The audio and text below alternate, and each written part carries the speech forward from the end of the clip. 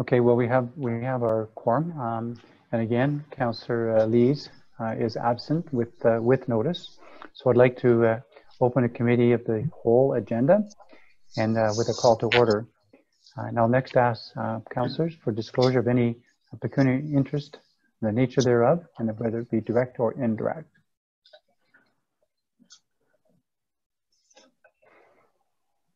Seeing no indication and having received no indication, I'd like to move to the delegations. Our first delegation is Jennifer Keys, Kais, Chair, Port Hope Public Library Board regarding the 2019 annual report. Jennifer, nice to see you, and the uh, audience is all yours now. Thank you. Good afternoon, Mr. Mayor and members of council. Um, um, as you know, I'm Jennifer Keys, and I'm the current chair of the Port Hope Library Board. Uh, with me this afternoon, uh, although not visible to you, is Margaret Scott, CEO of the library. If you have questions later, she is there to answer them uh, if you need. Thank you for allowing us to be part of this uh, Hollywood Squares version of council.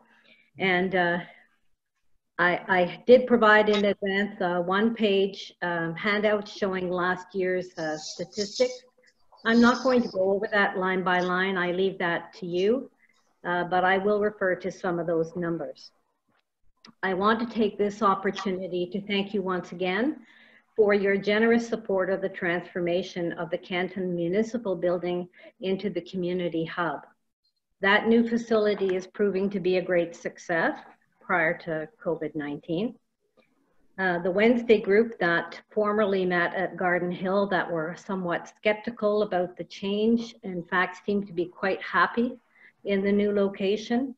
There is a sizable group of uh, dedicated, dedicated group of children who come for um, learning, laughter, and play, which is a program running through a partnership uh, with the Early On group.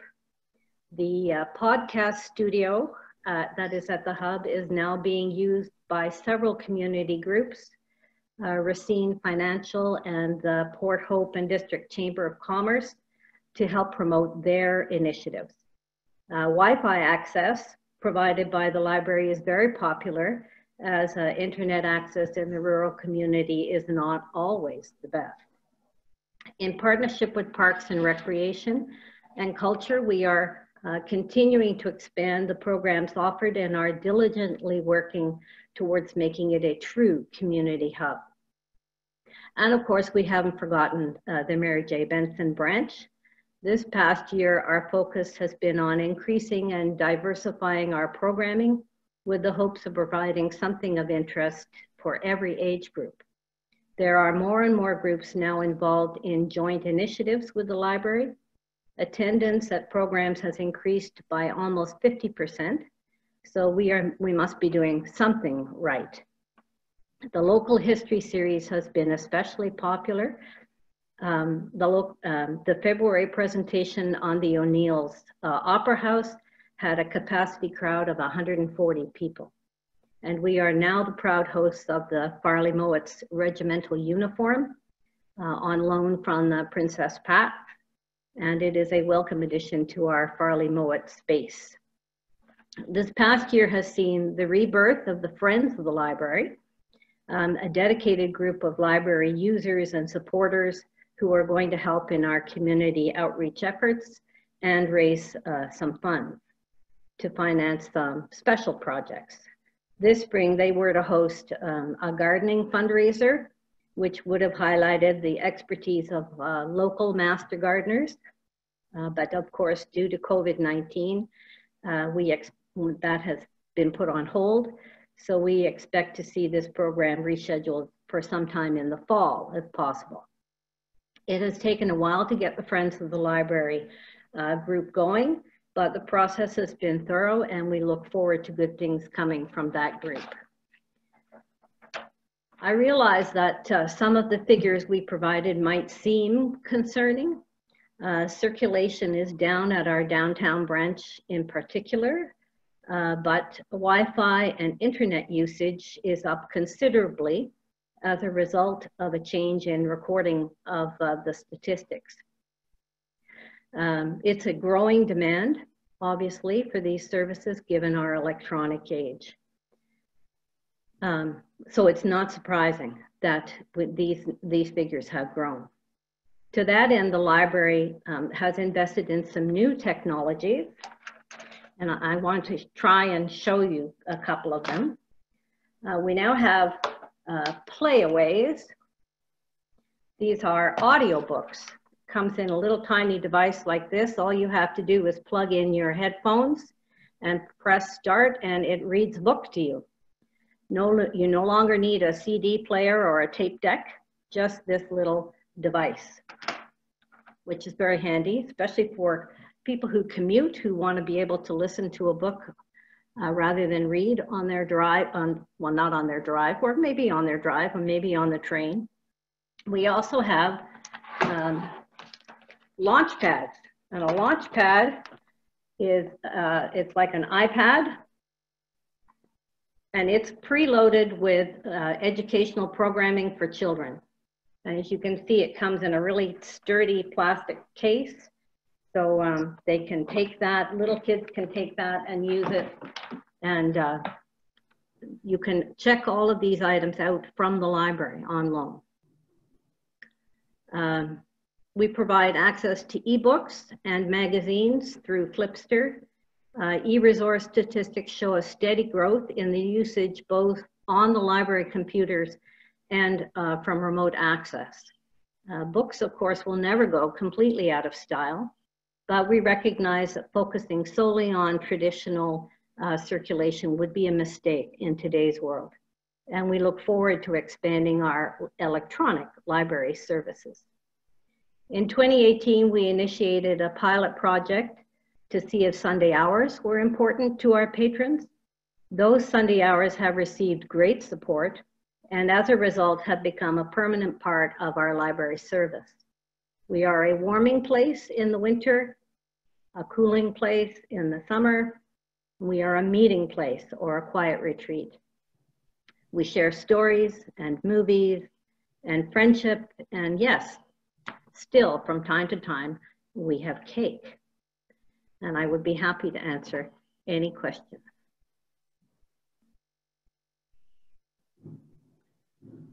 Thank you. Councillor Meek. I just have a comment and a question. Um, I do want to congratulate the staff and the volunteers as well as the patrons because I think both of our library locations are very welcoming and and uh, I go to both of them and, and they are a very comfortable place to be and, and I just want to give that appreciation to to both locations. You mentioned um, Wi-Fi or internet usage is up and um, in particular for the rural area where we know there's internet um, issues. Um, does the Wi-Fi, does the range of the Wi-Fi there extend out into the parking lot? Do you know? Um, I'd have to ask Margaret to answer that question. Margaret? Yes, uh, good afternoon, Mayor and uh, members of Council.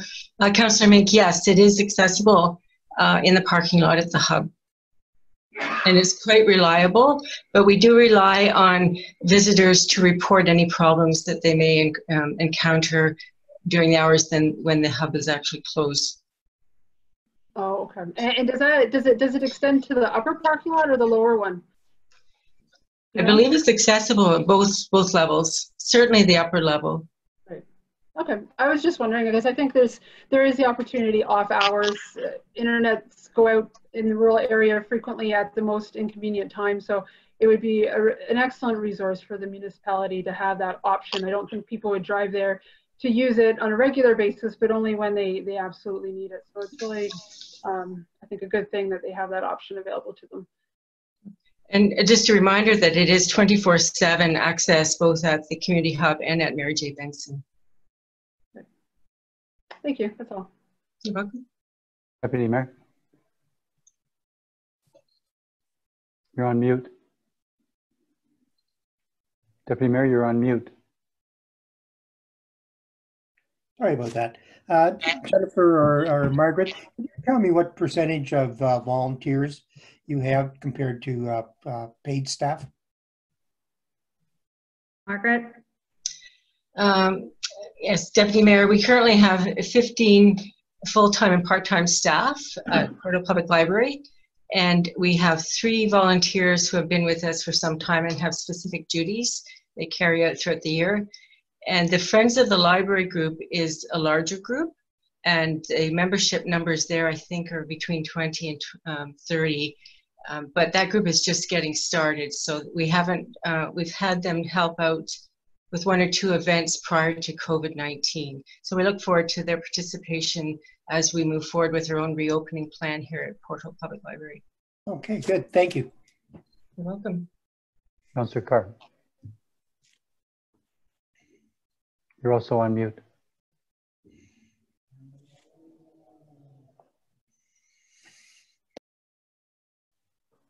I'd just like to make a couple of comments as the council rep for the library board.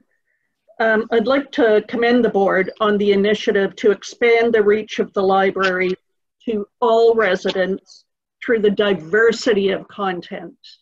Uh, I think that's been a very important uh, function that has taken place this year. Also, the addition of the increased digital platforms and of course the expansion of hours and um, you know the combination of all of these things um, just just lends itself to the inclusivity that the mayor was speaking about earlier so i think it's very important that we we continue on that Thank you for those comments. Anybody else? I'd like to, to make a couple. Um, first off, I'd like to uh, thank uh, Councillor Carr. Uh, she keeps council and us uh, regularly up to date, and uh, that's uh, appreciated uh, from a, you know, being a, a member of different committees. I, I certainly encourage that from all of us. And I also was very pleased um, to hear about the progression that you've made you know, with respect to the hub. Um, not everybody's aware, but that was a very challenging um, time to go through, uh, both for the library and I think for uh, council and, and staff. And um, it, it, turns out, you know, quite frankly, that it, it, was the right decision. And sometimes, you know, those decisions don't come easily. Um, but I, am certainly encouraged to hear, uh, Jennifer, what you're uh, saying. And, and the, the, comments you were making were very, very much appreciated. So it's a great, presentation. And I really hope that the hub continues to expand uh, its opportunities to, to rural residents, which is the reason it's called the hub. So anything else from any, any other councillor? We could receive this for information. Could I have a mover, please? Moved by Councillor Meadows, second by Councillor Bickle. All those in favor? Thank you. Any opposed? Carried. Thank you. Thank you very much. No, thank you very much. It's great. You have a good day. We move on to our uh, next delegation and uh, Olga Zwick, President, Capitol Theatre, regarding impact of COVID-19 and the pandemic on the Capitol Theatre. Uh, Olga, are you there and are you able to join in here? I am here. Okay, now I can see you. That's great. Oh, good. Um, Mr. Mayor and members of council, thank you for this opportunity to speak with you uh, this afternoon. Um, I will give you a brief update on the state of the Capitol, as well as the financial situation we now face as a result of the, of the COVID crisis. And I will be asking you for your help. A slide. Um, oh, and I just want to say thank you to Daphne, who's helping me with the, uh, with the PowerPoint presentation, because uh, I needed the help. Uh, so first, a bit of an overview.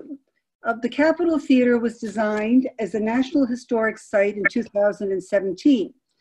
And this, designations, and this designation represents both an affirmation and an inspiration for its role as a public and community asset. There is also an intimacy between the arts and vital street level commerce that is stimulated by theater activity. Um, Daphne, I'm on slide three. There we go. Thank you. Um, we help support and sustain restaurants, hotels, and shops, and get people out onto the, onto the streets, spending money that create jobs and support businesses. The Capitol is valued as both an artistic hub that drives economic benefits and as a magnet for tourists and visitors. Slide, next. As a public asset, the Capitol Theatre has doubled in the past five years from a 1 million to a $2 million operation.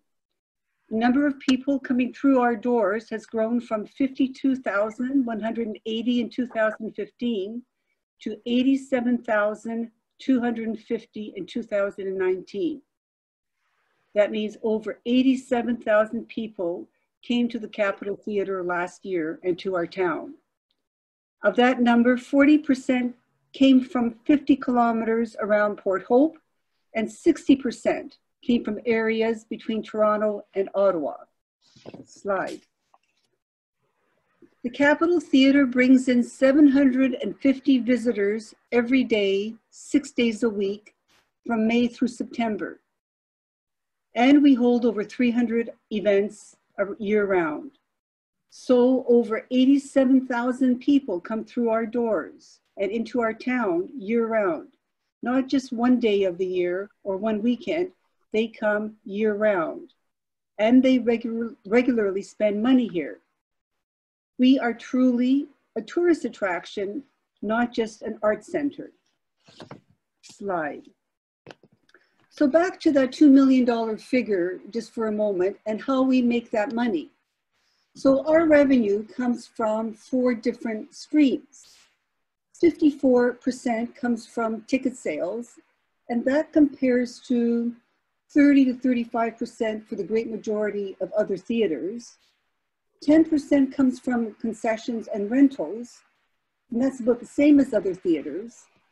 29% comes from fundraising, compared to 30 to 33% for other theaters. So we're a little low in this category.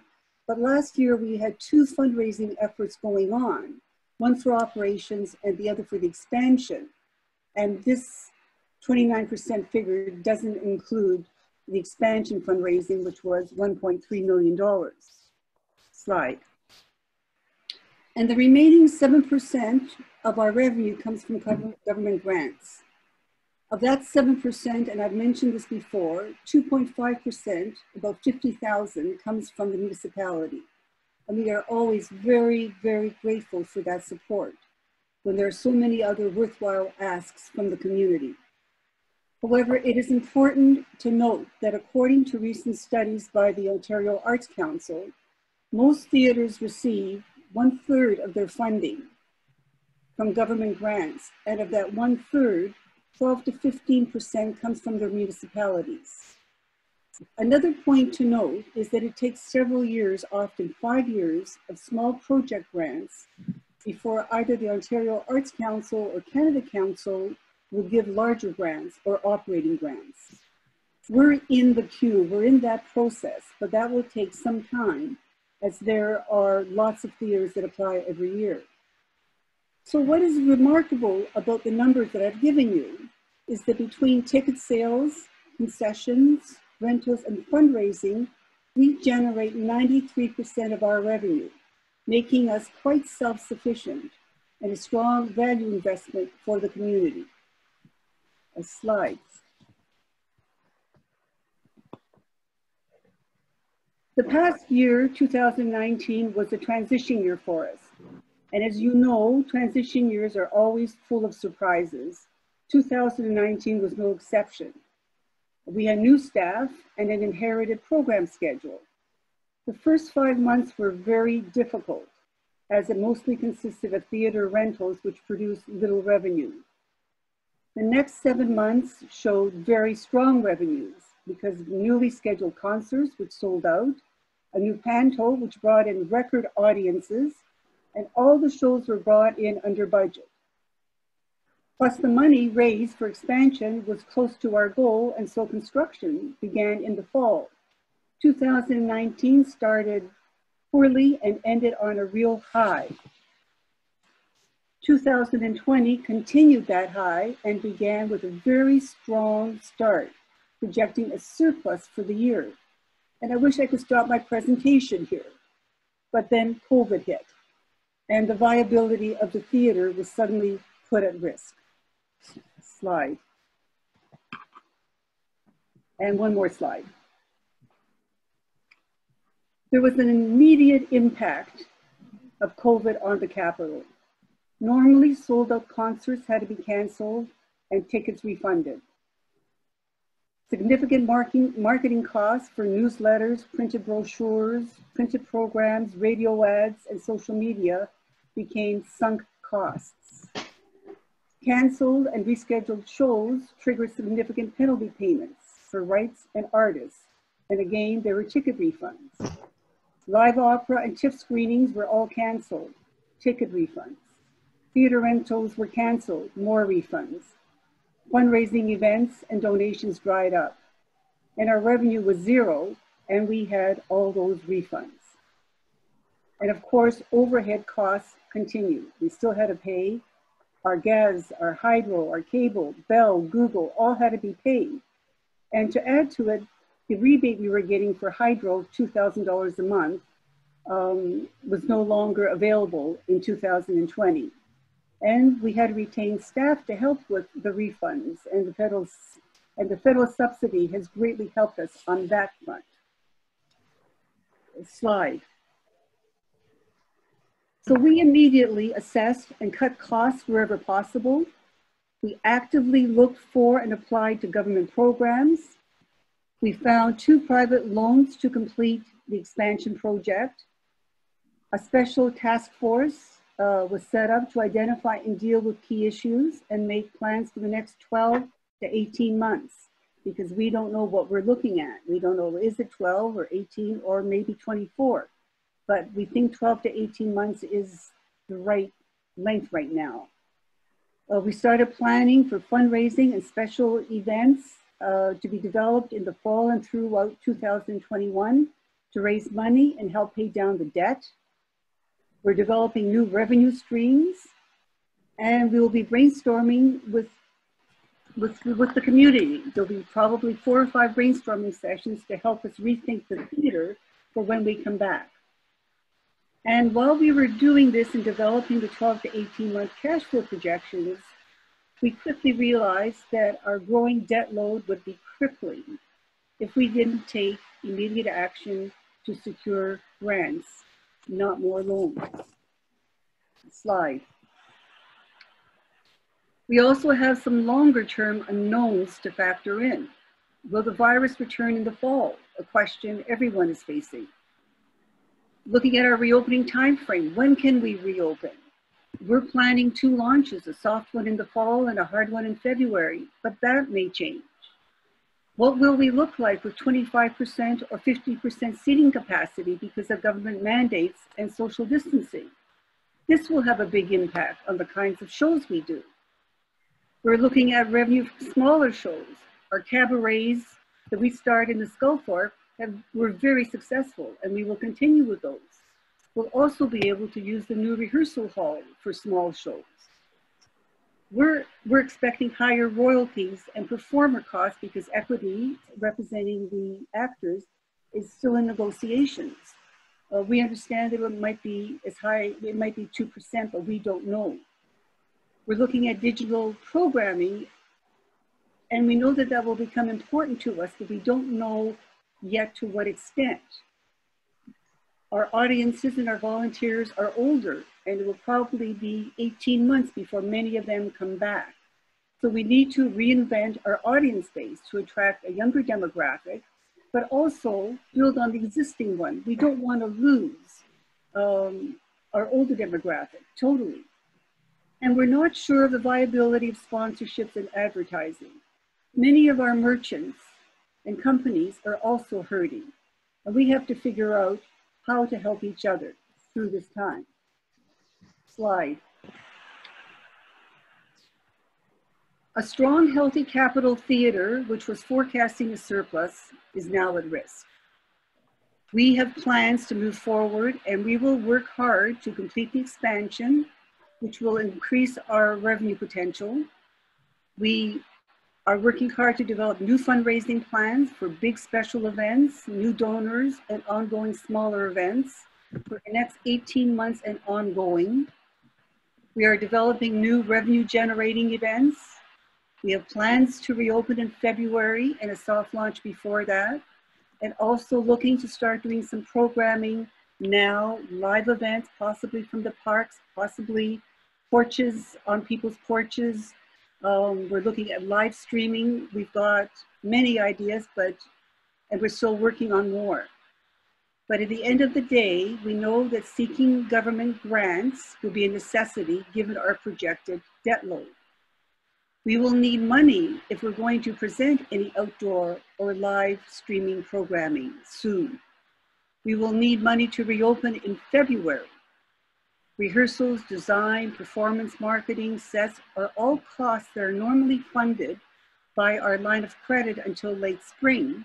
And then in the summer and fall, revenue starts coming and we exceed our costs and continue going and by the end of the year, we've made all our money in those seven months. We can't take on more debt through loans, and so we need grant money, $300,000 of it, from the province and from the town. Stratford right now uh, is expecting that over $8 million, close to half of its debt, will be in the form of government grants. We hope that the year-round economic value that the Capitol Theatre brings also will deserve increased support in this difficult time. Slide. Our marquee, when it isn't being rented out right now, because it's being rented out almost daily, um, and it's become a new small source of revenue for us. So our, our marquee says that the Capitol Theatre will be back after this intermission. And even though Saturday's Globe and Mail said that 20 to 40% of theaters will not be back, we will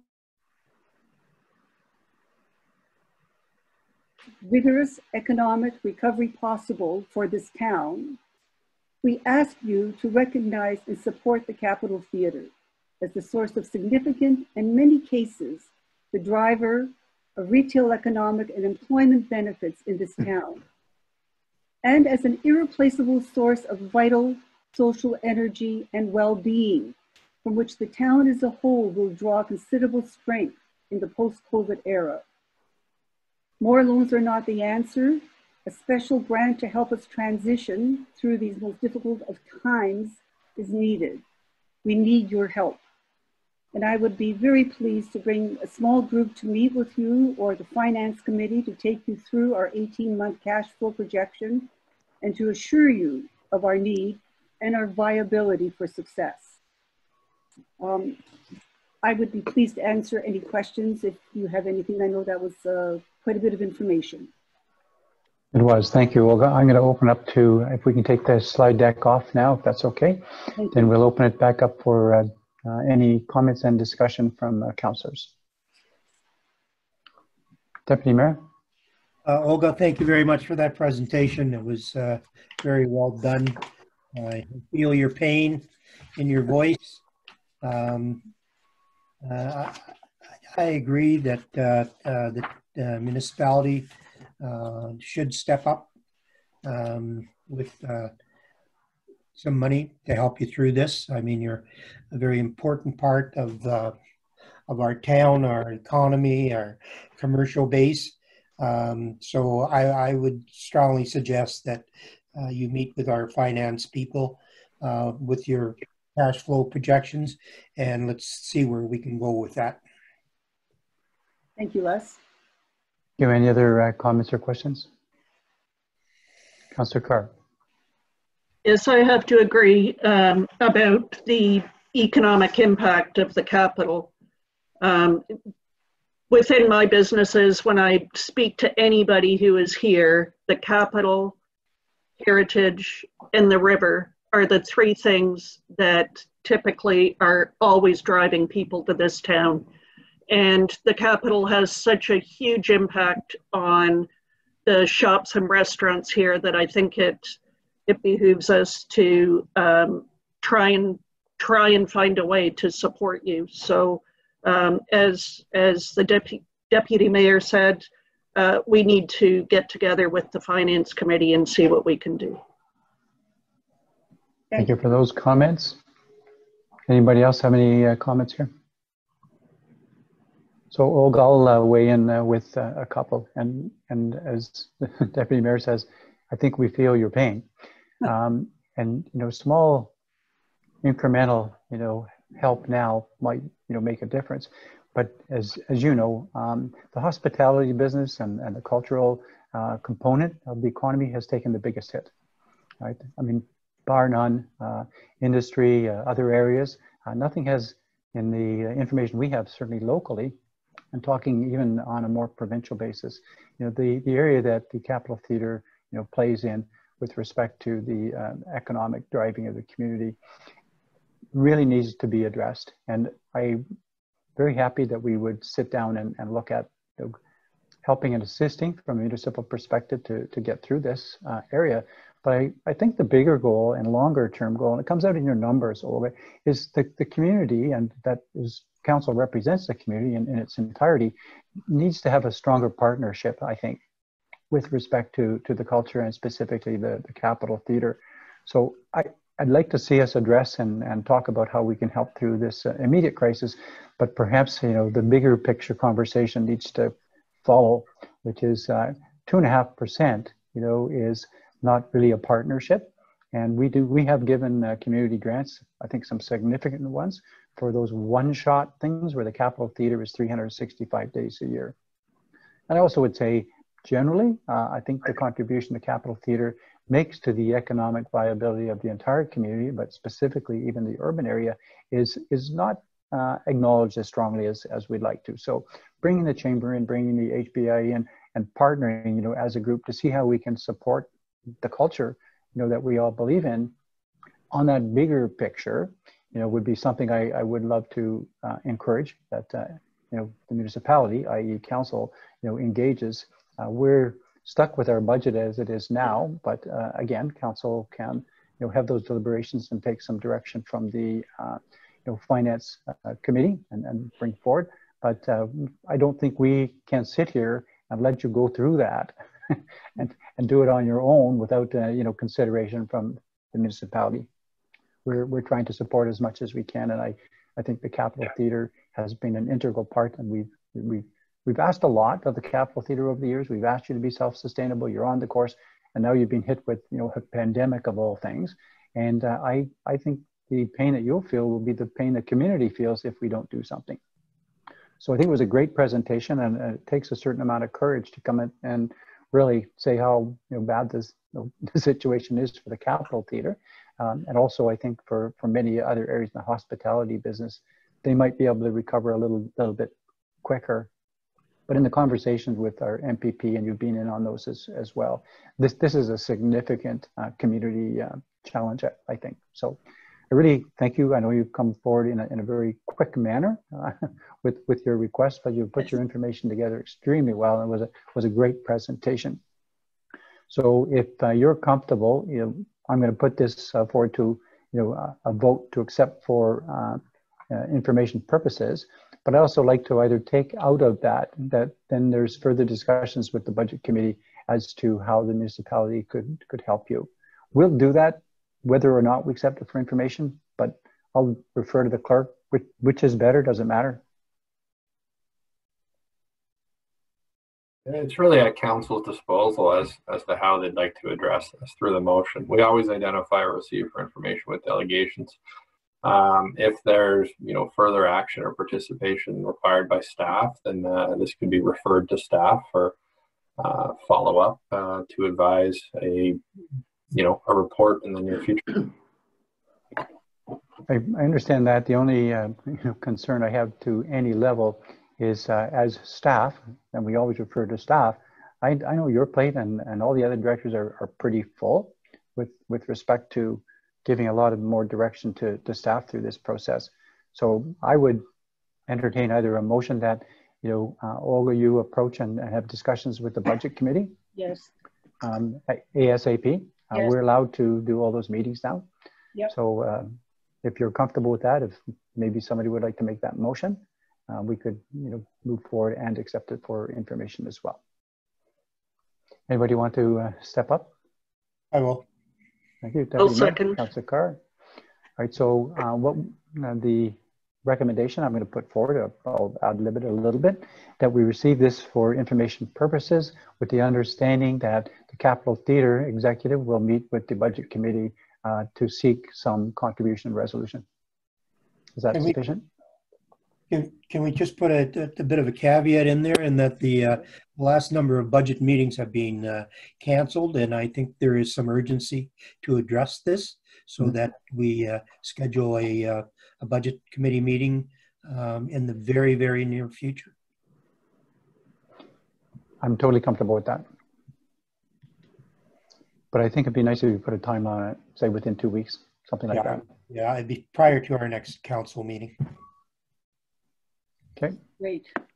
Sorry, Councillor Carr, as Mis- moving Mr. that, are you comfortable with that? Yes, I'm totally fine with that. And I see Director uh, Baxter is uh, showing up here and probably has some comment. yeah, I'm just, just on the, uh, certainly under, understand the intent, um, but in terms of the budget committee, which comprises of all of council, sitting in meeting with the executive for the Capitol Theater, I don't think that's exactly what we're um, after here. I think maybe what you're looking for is maybe one or two representatives, um, such as the chair of the finance committee to maybe meet, and I can certainly participate as well. Um, and then bring something back to finance committee um, with a bit of a recommendation, if, if I Yeah, may make that recommendation. I, I think those are good comments. We don't need to have all of council. You'll never get to anything done at that rate. So that wasn't meant to be facetious. I mean, it's- we, we just can't move at that speed. Where I think if, if uh, Councillor Carr will take the lead as the chair of the finance committee and perhaps um, the deputy mayor, and if there's another volunteer that would like to, otherwise I would be prepared to, of course. So, Be happy to. Yes, I'll take the lead on that. I would like to participate in that, Bob. okay, that'll be the three of you. And um, you. if you can uh, make that happen sooner than later, uh, I think this is a, a rather desperate uh, situation for the Capitol Theatre, hence uh, a desperate situation for our municipality. So, um, Mr. Clerk, have you captured that? I think we are referring this to a subcommittee of Councillor Carr, Deputy Mayor Andrews, and Councillor Meadows to make a recommendation to council after meeting with the Capitol Theater executive. I think you've got it. Perfect. And they'll report at the next uh, council meeting. That's, that's actually, I think, three weeks from now. So a lot, lot can be done during that time. There can be. Yeah, so um, Councillor Carr, are you okay with that? I'm totally fine with that, yes. Okay, all those in favor of accepting um, for information purposes with the amended um, discussion that uh, our clerk put out? Thank you. Any opposed? And Olga, you don't get the vote. I know, but I felt I had to. I had. Thank you Very so much. Thank you so Okay. much for your understanding and uh, for your support. Thank you. No, thanks for all the work you're doing. I, I just can't even imagine how uh, much work it is behind the scenes and how you know, things are for you. So glad you uh, continued on as uh, president. You might.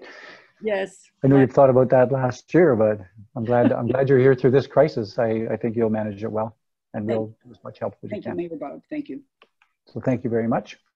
So with that, we'll move on to uh, the next item on our agenda. Uh, it's a consent agenda, and we have two items on here. Uh, the Police Board Services Board meetings. Uh, either of those have to be pulled out for any further discussion.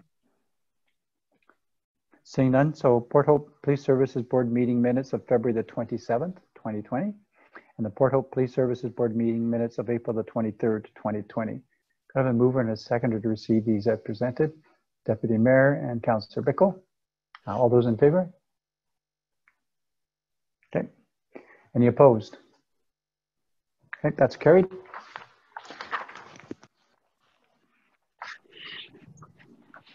So With that, we'll uh, turn it over to corporate services. Um, I'll undertake that because there's really not a lot here and we uh, won't line up for it. So um, corporate services, um, 1.1, uh, staff reports, we do not have any. 1.2, business referred, we do not have any.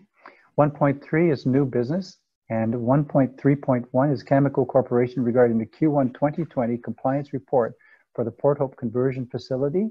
And it's recommended receive this for information. Could I have a mover, please? Councillor Meadows, seconded by the Deputy Mayor. Any discussion regarding that report? All those in favor?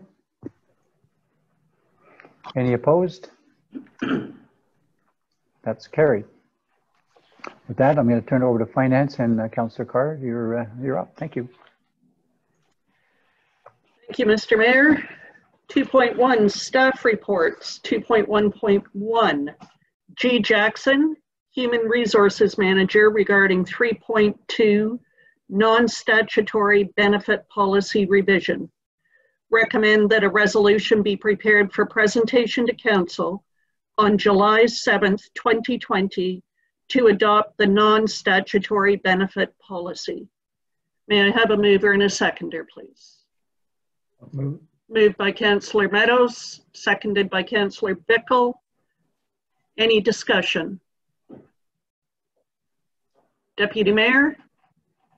Um, although your intent, uh, or the intent of the report is, uh, admirable, I don't know if now is the time to be, um, instituting this policy. Uh, we have no idea where we are going longer term financially. Uh, and, uh, I, I would suggest that, uh, these, these type of things, uh, to be held in abeyance until we have a clearer picture of what our finances are going to look like.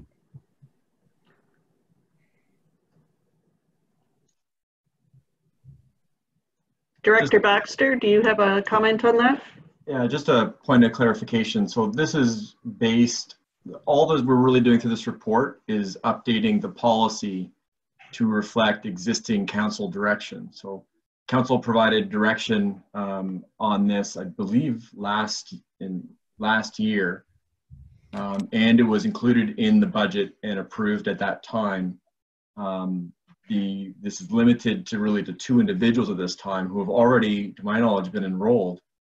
Um, and so just pointing out that this this is at this point is the decision to proceed on the part-time limited, very limited part-time benefits um, was made um, a considerable while ago. And at this point, this is just a housekeeping um, measure, for lack of a better word, to um, keep our policies um, updated. And we are going through HR policies and trying um, trying to to update each of those. So um, just to, to clarify on um, on that point. Okay, thank you. I uh, hadn't realized that that was just the intent. Yes, this- and this was included in our 2020 budget. So it has been accounted for. Any other discussion? All in favor? That's carried. 2.1.2, A. Asen, Financial Planning Coordinator, and D. Baxter, Director of Finance, regarding appointment of Watson and Associates, Economists Limited, as a professional service provider.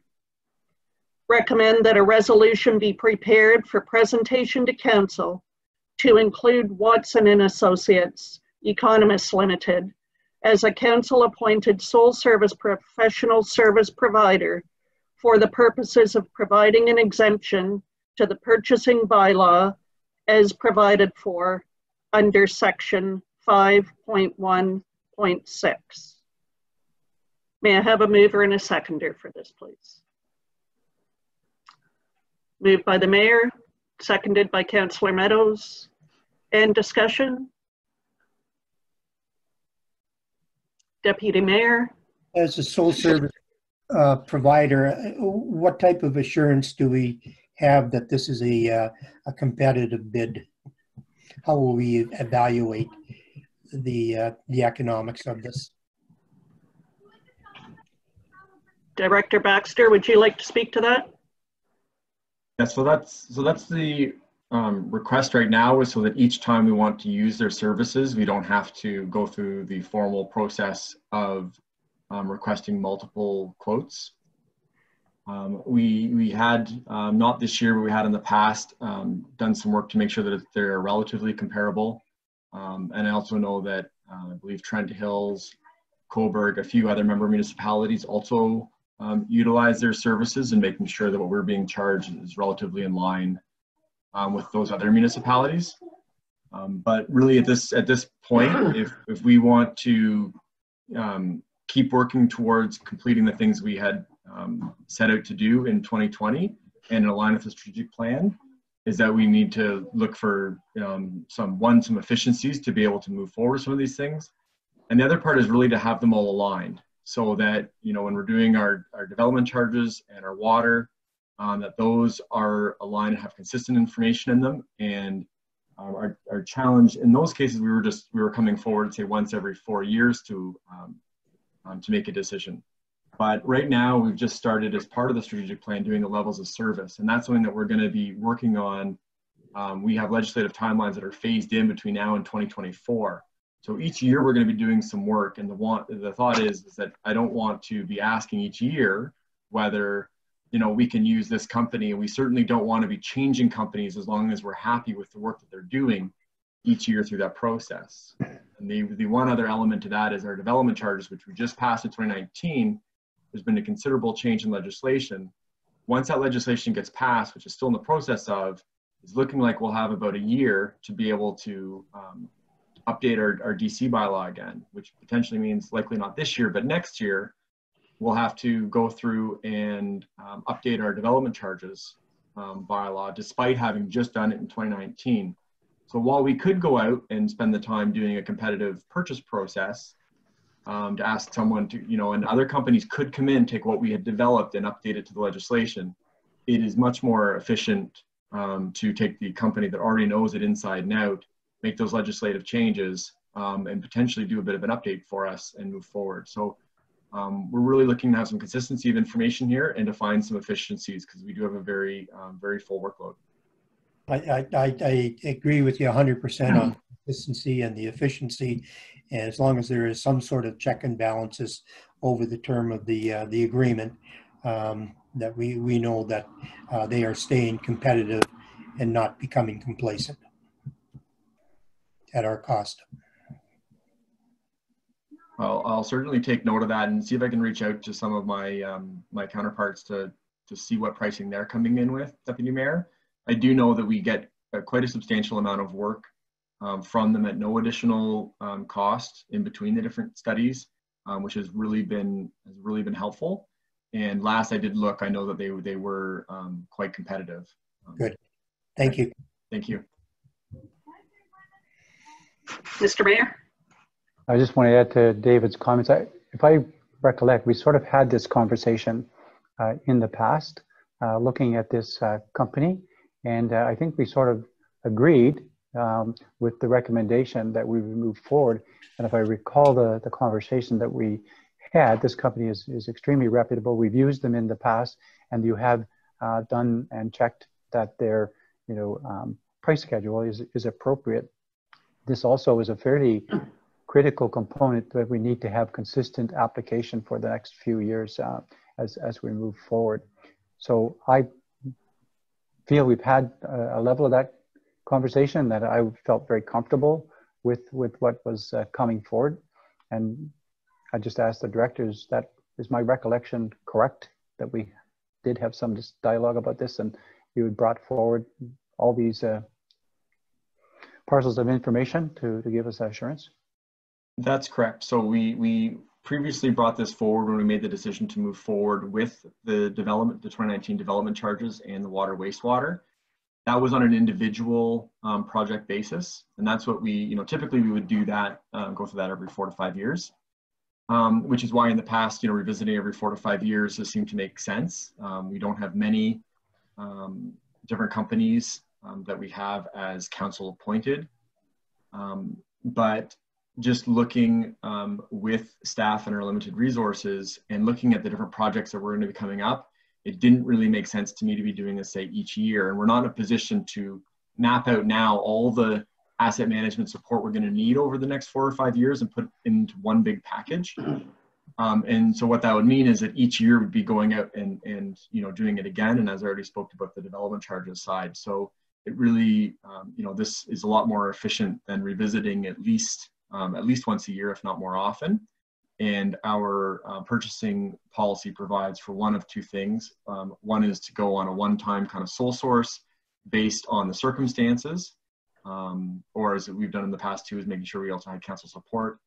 Making this change will um, will make it more like say our, our legal support, where we go to um, Templeman whenever we need legal, and if it's going to be a larger case or whatever, we don't have to go out and do an RFP for legal um, support um, because you know a case or something has come up something comes up and we can immediately go to them because they have been appointed by council and it's a similar treatment that we're looking for here. There's other categories in terms of property appraisers and other things. That's what we're looking um, for in this case um, because of, of the, um, the work that we have the quality that we've had the cost competitiveness. Um, and quite frankly a part of it is uh, you know is in terms of just the resources. You know if we're not going to add you know additional staff or take things off the plate then you know we want consistency. We need to move forward with our asset management planning and meet those provincial requirements. Um, this is one of those opportunities where um, you know we can be a bit more efficient as opposed to bringing you a report once a year or more often, asking if we can continue to work you know with Watson. Um, Thank you. Yes, I also think that Watson is going to have to keep their pencil sharp. Um, because they are dealing with a lot of local uh, municipalities and they're dealing with the county. So it's pretty important for them, I would think, to keep in good favor. Yeah, and, and just to make council aware, this does not mean exclusive, just like on our legal or anywhere else. We don't just use one firm, and if someone, another firm is better suited, um, or the overall value, not just the cost, makes more sense in another area, um, then nothing precludes us from doing that. And we can have this be, you know, council appointed.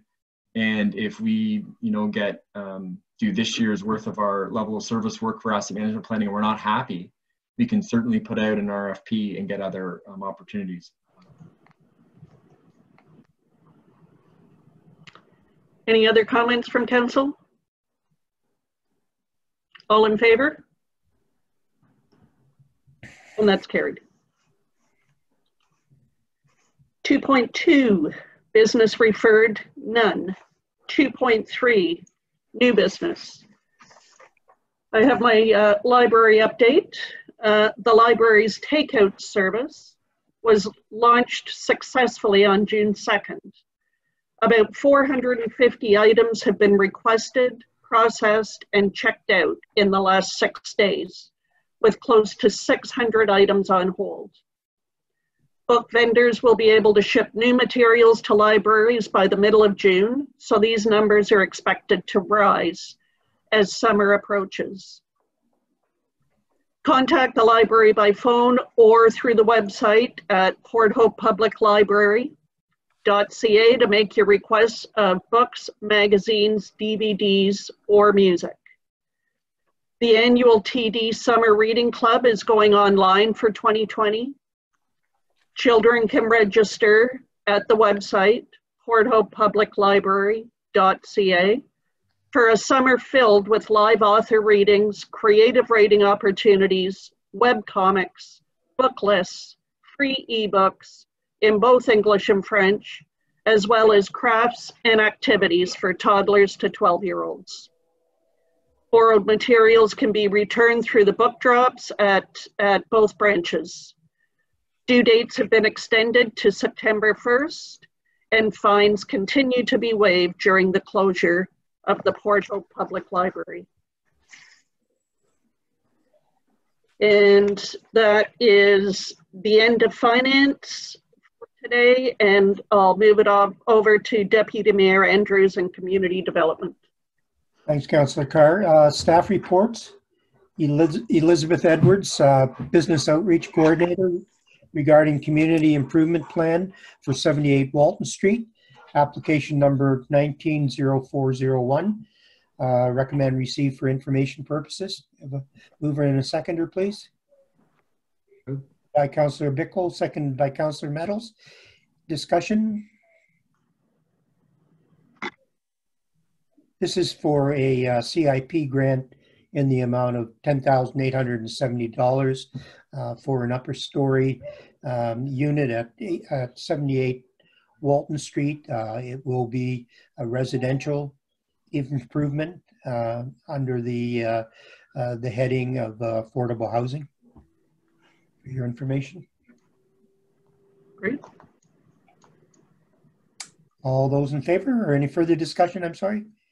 All those in favor? Thank you. 3.1.2, Theodora Maripesa, Planning Manager regarding second submission, draft plan to subdivision application SU01-2019, the official plan amendment OP01 2019 and zoning bylaw amendment application ZB06 2019, Phase 5 Lakeside Village Community, applicant Walker Nott Dragicevic Associates Limited on behalf of Aon Inc., 2107401 Ontario Inc., Penryn Park Estates Inc., and Penryn Mason Homes Inc. And it's recommended to receive for information purposes. Could I have a mover and a seconder, please? Councillor Meadows, seconded by Mayor Sanderson.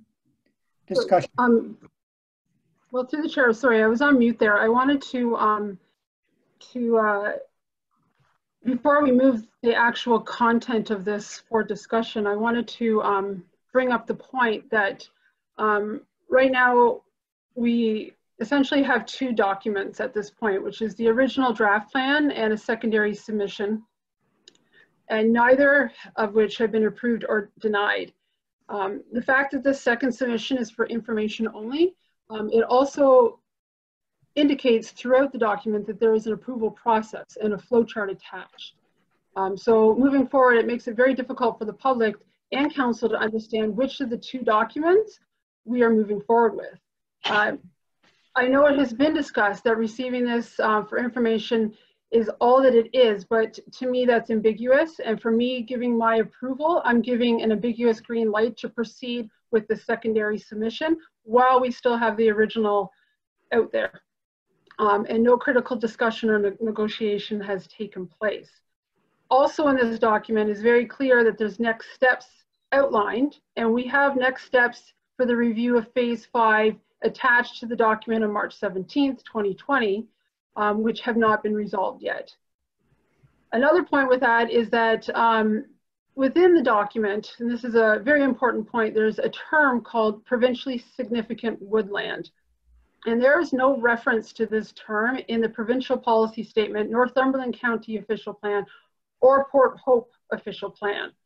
And I think that's a significant point. The last point I want to make is that under page eight, there is um, uh, public consultation, which reads the public can put, provide input to council and staff at any point prior to council's decision. Again, with two documents out there, any response from public will also be ambiguous, confusing, and arbitrary. So before we talk about the content within this, I wanted to um, put a motion forward, and I'll just read it. I have it written out, whereas a report that has been submitted by Theodora Marapeza, Planning Manager, with respect to a second submission of a draft plan of subdivision application by Aon Incorporated 210740 Ontario Inc., Penryn Parks Estates Incorporated, Penryn Mason Homes Incorporated, and whereas the Council of the Municipality of Port Hope has not yet formally addressed the original draft plan of subdivision application for Phase 5 Lakeshore Village Community, and whereas the intent of the applicant to conduct a further study of the woodlot using an unknown classification system, and whereas the original draft plan of subdivision application for phase five is then still considered an active application, and whereas council is now being asked to address a revised application on the same development before a formal decision on the original application, therefore it be resolved that council formally reject the original draft plan plan of the subdivision application for phase five of Lakeshore Village Community prior to considering the revised draft plan second submission as presented in the report of the planning manager dated June 6, 2020. And further, there is a pause in the planning application so that an interim control bylaw under section 47 on the Ontario Planning Act can be adopted and allowed for peer review. And if I can have a seconder on that, um, I would also like to ask for a recorded vote. Uh, I will second that. Okay, Director Gilmer, I am on um, very new ground here, and uh, Director Dodds. Um, so uh, I would uh, defer to both of you to uh, ask how to proceed. Well, I, I won't speak to the content. I'll, I'll speak to the process. Um, we do have a motion here to receive this for information. It was moved by Councillor Meadows, seconded by Mayor Sanderson. If we don't want to consider that right now, that can be withdrawn by those parties and not considered. If not, it needs to be disposed of, it needs to be passed or or defeated. Um, you know, I'll let Director Dodd speak to the content. Um, I would just note that this is an update um, and, and the, the, the points are valid. This is an update. This is a discretionary update. This is not a step in the planning process moving forward. Um, and then re with regards to the new motion that we're looking to introduce here, I I don't have a copy of that motion. I didn't capture the entire motion. I wasn't quite ready for that. So I think there's going to need to be some, um, maybe another indication as to what the specifics were there. But. So should we deal with the original motion first? Would uh, uh, Councillor Meadows and Mayor Sanderson like to revise their their their thought on that, or? I'd like to hear from um, Director Dodds. My understanding of um, this report. Uh, it's a follow-up from the meetings that were had in the public and that we have had a response from uh, Mason Homes. And that response is being forwarded to so the public can have input relative to it. So it's to me, it's a status report. It's not a decision-making uh, process. So I, I'm okay if we can just maybe turn to Director Dodds and he can address some of the um, concerns that Councillor Mink has brought forward, and unfortunately, that wasn't provided to the to the clerk. So that'll have to be uh, defined so we we have some specific uh, information and some background uh, information to, to again that that's being presented. So uh, Director Dodds, do you want to weigh in now? Because I, I don't want to change the mover or the seconder at this point in time. I'm hoping that I can provide some background, and I'm going to ask Theo if she can make her um, make her presence known in the call as well, and and unmute because there are parts of the details of this that will be important uh, for people to kind of understand. And I will provide the high level, and and Theo is quite well versed in the details. The the a, a, a plan of a, an application that had a zoning bylaw, an official plan amendment, and as well as a subdivision plan were sub submitted to us in the fall of last year. Uh, there was a review of that. It was deemed complete, and at that particular point, the clock start ticking in terms of a process. Uh, over the course of that process, we made uh, all of the materials that we received for the app for the all three of those applications and and the proposal for the subdivision public. We put it on site. We had a public meeting, and we garnered considerable response and support. Even leading up to that public meeting, I think the proponent, uh, Mason Homes, made it clear that they acknowledged there were a lot of concerns about the woodlot. Uh, they had exp expressed there was other concerns were raised about heritage and a number of other points. So at the time of that public meeting, they tabled uh, a proposal, and it was a high level proposal about dividing the existing subject lands into two areas, holding the woodlot uh, keeping the putting the woodlot essentially, and these are my words, on hold, without any proposed development for it, and then uh, you know, and then coming forward with a, a, proposal. All of this is on their own, uh, and submitting that and saying, okay, this was our original plan. Based on what we've heard from the public and the concerns expressed, we want to change that plan and move forward with this new proposal. And that's what's been tabled with us, uh, tabled for us for our consideration. In the previous plan, we had a number of question, questions, and we call it the original plan so that we're clear on that. And this one is a second submission, not dissimilar to what happened in phase four, I understand, where there was an original plan and then there was a second submission. This is all part of one process. So what the council has not been asked to make a, you know a decision nor are we making recommendations because we're in the midst of a process and this is not unusual for any subdivision proposal that comes forward in any community throughout Ontario this is in fact part of the process engaging the public, getting a response back, concerns expressed, lack of clarity, all of these things. And the job of the planning department is to provide, uh, to the extent that they can, professional advice to council uh, for recommendations and a decision. So I think that any I think that we're still in the middle of a process, and I think we pointed out that we're not making any recommendations. We're just taking in the information and trying to process it through. We know there's lots of pieces that came up. Uh, thankfully, through further investigation, we're doing the heritage impact assessment, which was something that we initially thought we didn't wasn't required on the proponent. We also recognize that we likely have to do more environmental work, either through a, a peer review or investigating first the whole question of the the provincial significance of that property. We know we've received something from the proponent that makes the case that it's not as significant as we might think, and we know there's an equal group of people that feel this is quite a particularly significant piece, and our job is to do the due diligence to find that out. So we're in the middle of that right now. And a point, the point that uh, the director of corporate services, the clerk made.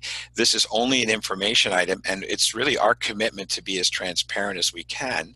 The information that's going to be on the website momentarily, you know, on the on the public consultation website for this phase five will be up momentarily. It's currently on on the agenda for today.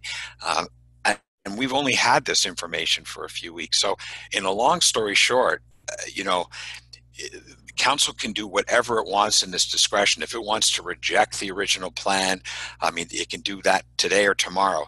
Um, I would argue, from a professional standpoint, that is quite premature because we still haven't worked out what the, ultimately this the subdivision proposal will look like. So, and having said all that, I turn it over to Theo if there's specifics that she might want to add in terms of the planning process under the Act. Thank you, through you, Chair.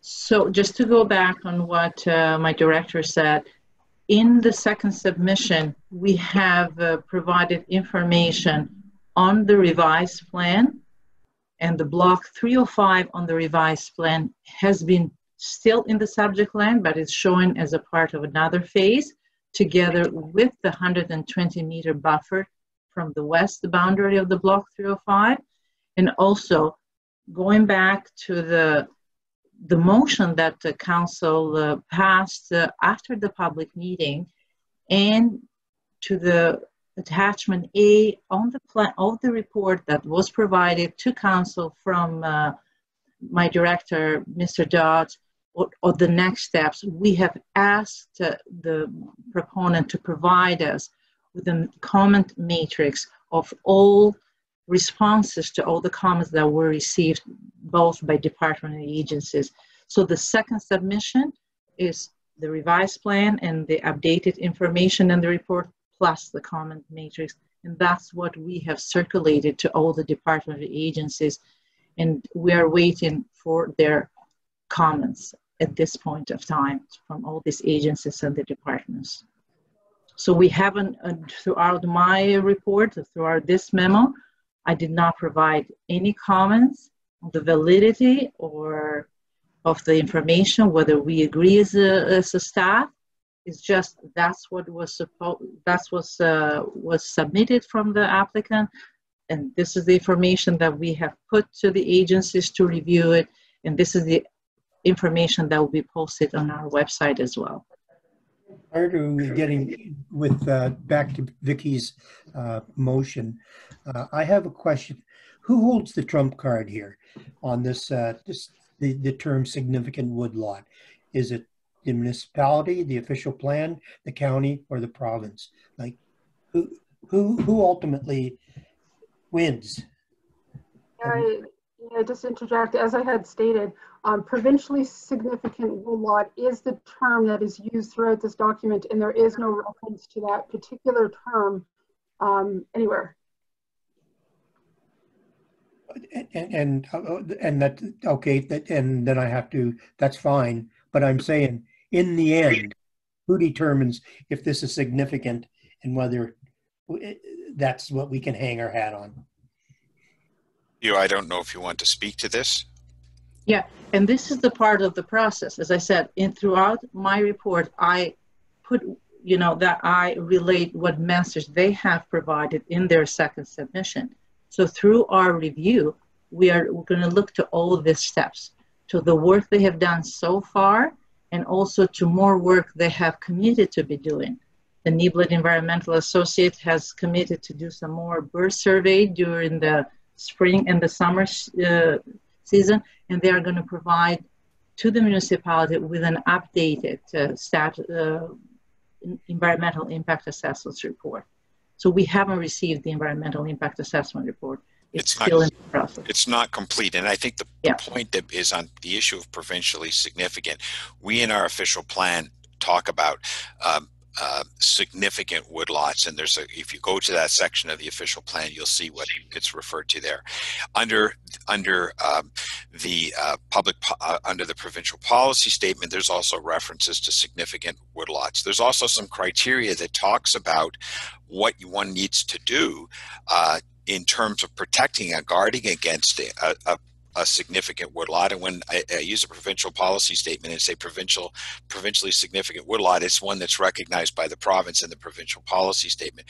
There's criteria about what has to be adjacent, what area, and what to ensure that there's no undue influence on a development on that woodlot, and that's why the buffer that's been referenced of 120 meters that goes into the actual area that they're proposing as a subdivision development, they're saying we're not going to build in that area now until this EIS, sorry, environmental impact assessment is completed and we've reached some resolution of it. It has not been finalized yet, and I think that's really the important part is, and getting back to my point, we're in the middle of a process where the the proponent has changed its approach to the design we have an original plan. There's some outstanding issues that were there that we've asked to have addressed. And in fact, this new plan addresses, in the fact of the way it's developing it, um, many of the concerns that were raised. So it's certainly uh, mindful of it. The tricky part is that I think what's being asked of here, if I understand, is to put a stop on something or reject something that hasn't even put put forward by staff as a recommendation or a, a decision point for council. But again, it's entirely up to council on how they wish to proceed. Councillor Mink and then Councillor Meadows and then Councillor Carr.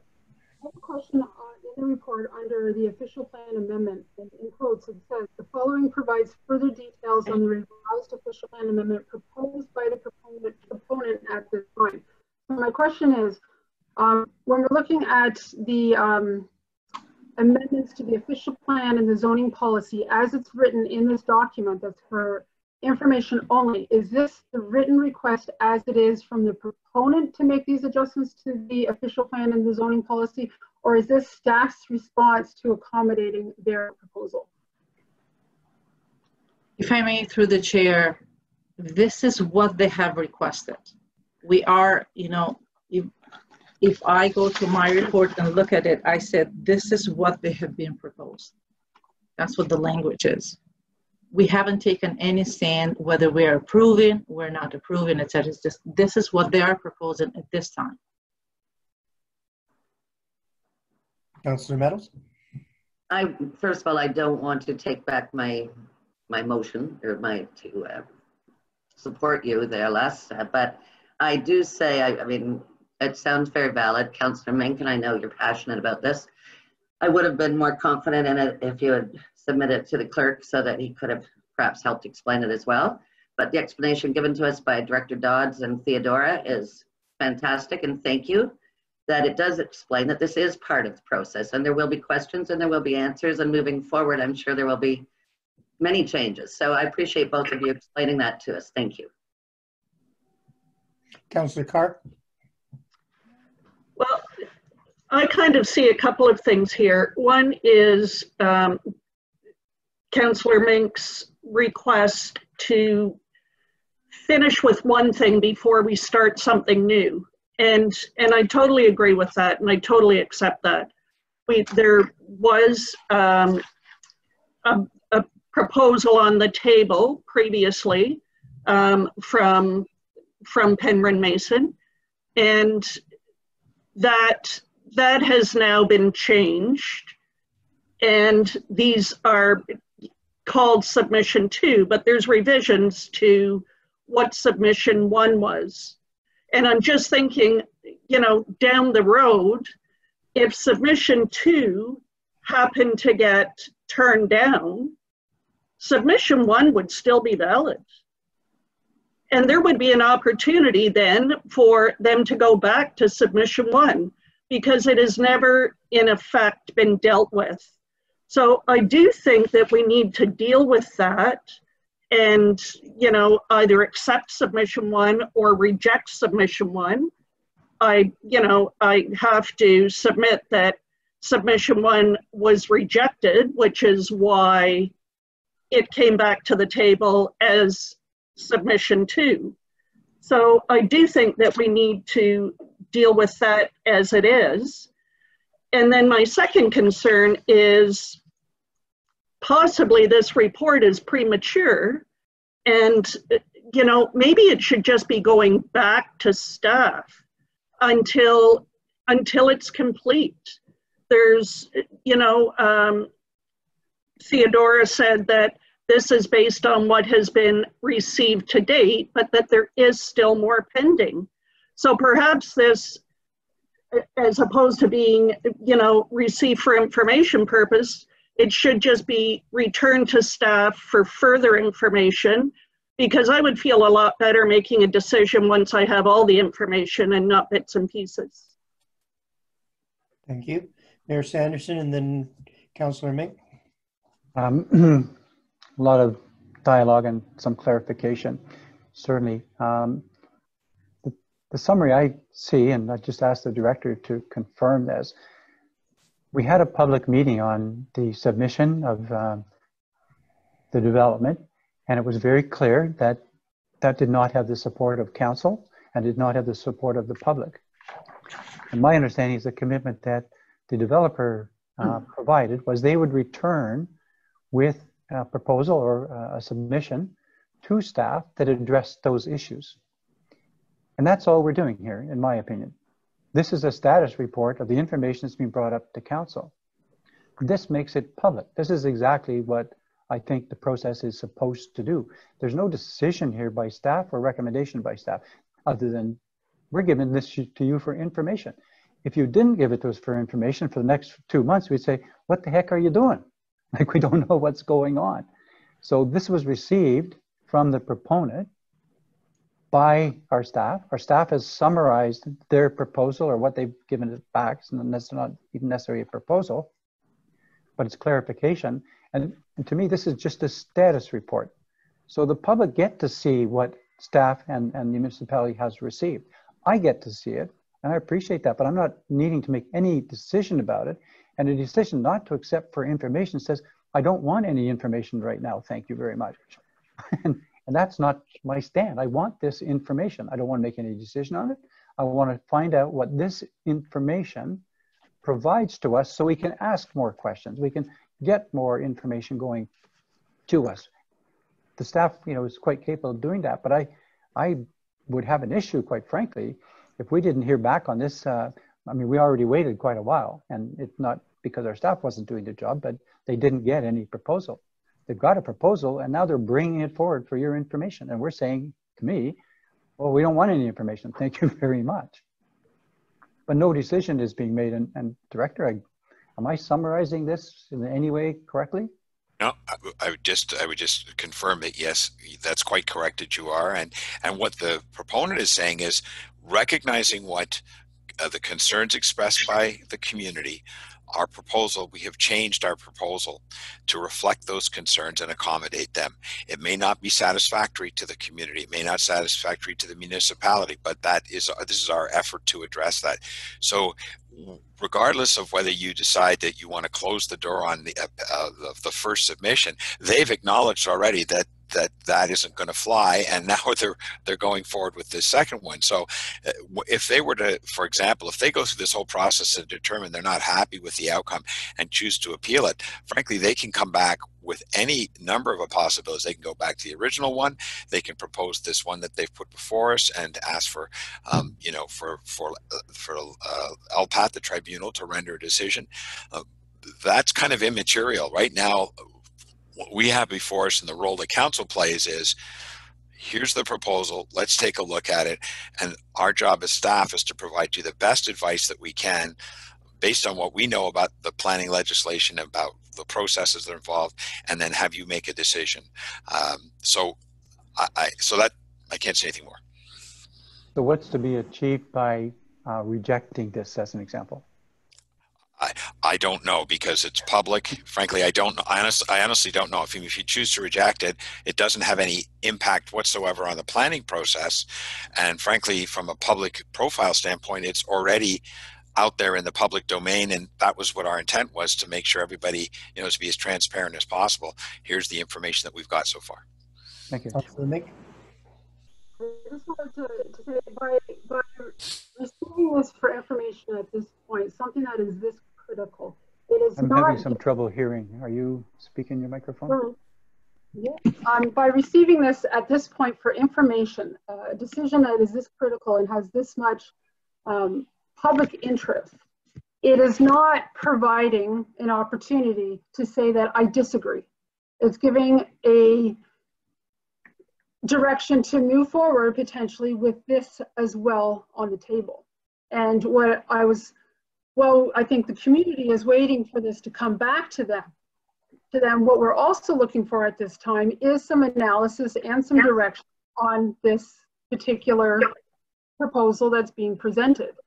Um, I just want to point out too that this this plan, this proposal that's coming back, isn't a whole lot different. It's it's basically taking um, the the woodlot out of the equation and putting a big cloud over it and calling it block 305 with a buffer and we're not we're not given the opportunity to see what is underneath that plan. There, there's things that are not addressed in this. The high density units which were on that forest land have not been rezoned elsewhere. So when i'm looking at this i'm seeing the same thing but i'm just seeing a big cloud over it. I haven't seen any negotiations whatsoever or any ethical consideration for the woodlot and a redesign of that plan. I'm seeing it being less transparent than it was before. And I don't, I, on behalf of the, the people who have elected me to represent them, I don't think that this is what they're looking for. And, and for information purposes is one thing, but I would like an opportunity to say that this is not acceptable at this point, and I do not approve with moving forward in this direction because I don't see a difference. And I see two plans on the table, and both of them are in the hands of the proponent.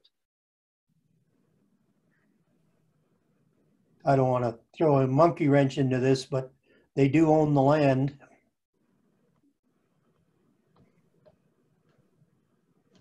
No, they do, sorry, through the chair, but they do have an ethical obligation or opportunity to live up to their corporate um, their corporate mandate or their corporate um, what they put on their their website that they're an environmentally conscious company. And they regardless of whether that's a significant heritage property or environmental property they do have the option to redesign it taking that into consideration. And i'm not seeing that anywhere. This is purely only if absolutely required they will save that woodlot and okay. I think that is what the community is waiting to see. They want to see an alternative plan. They don't want to see a big cloud over the most important critical part of this this this area. And that's what's happening right now. It's become more more clouded than it was before.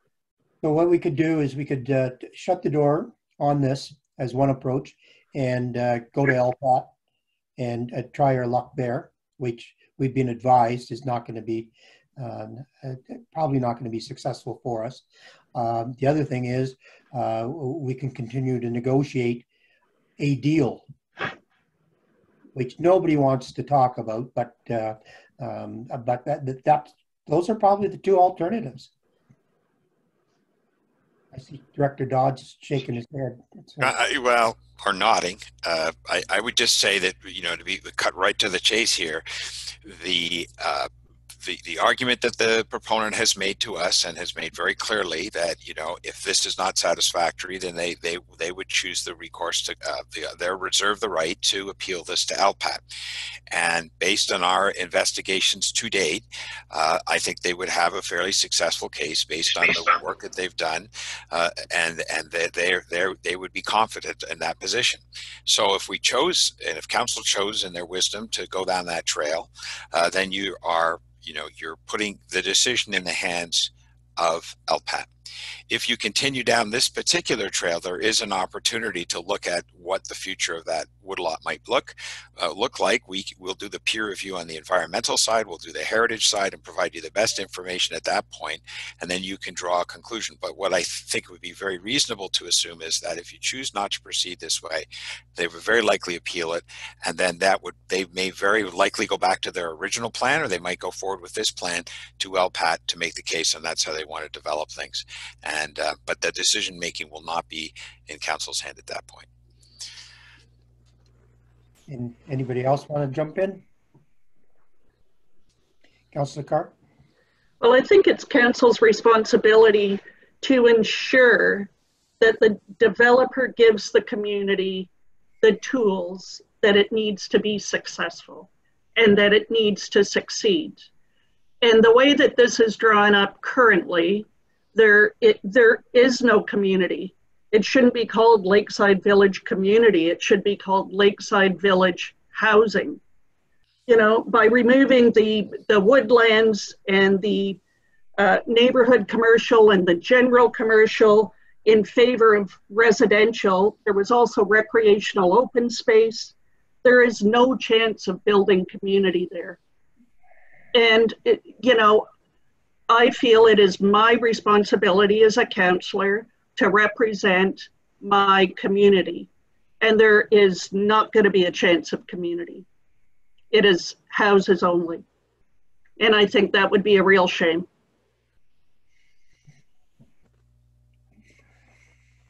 So, um, and uh, I, I 100% agree with you, um, but that still leaves us with the question of do we want to continue negotiation or do we want to go to LPAT?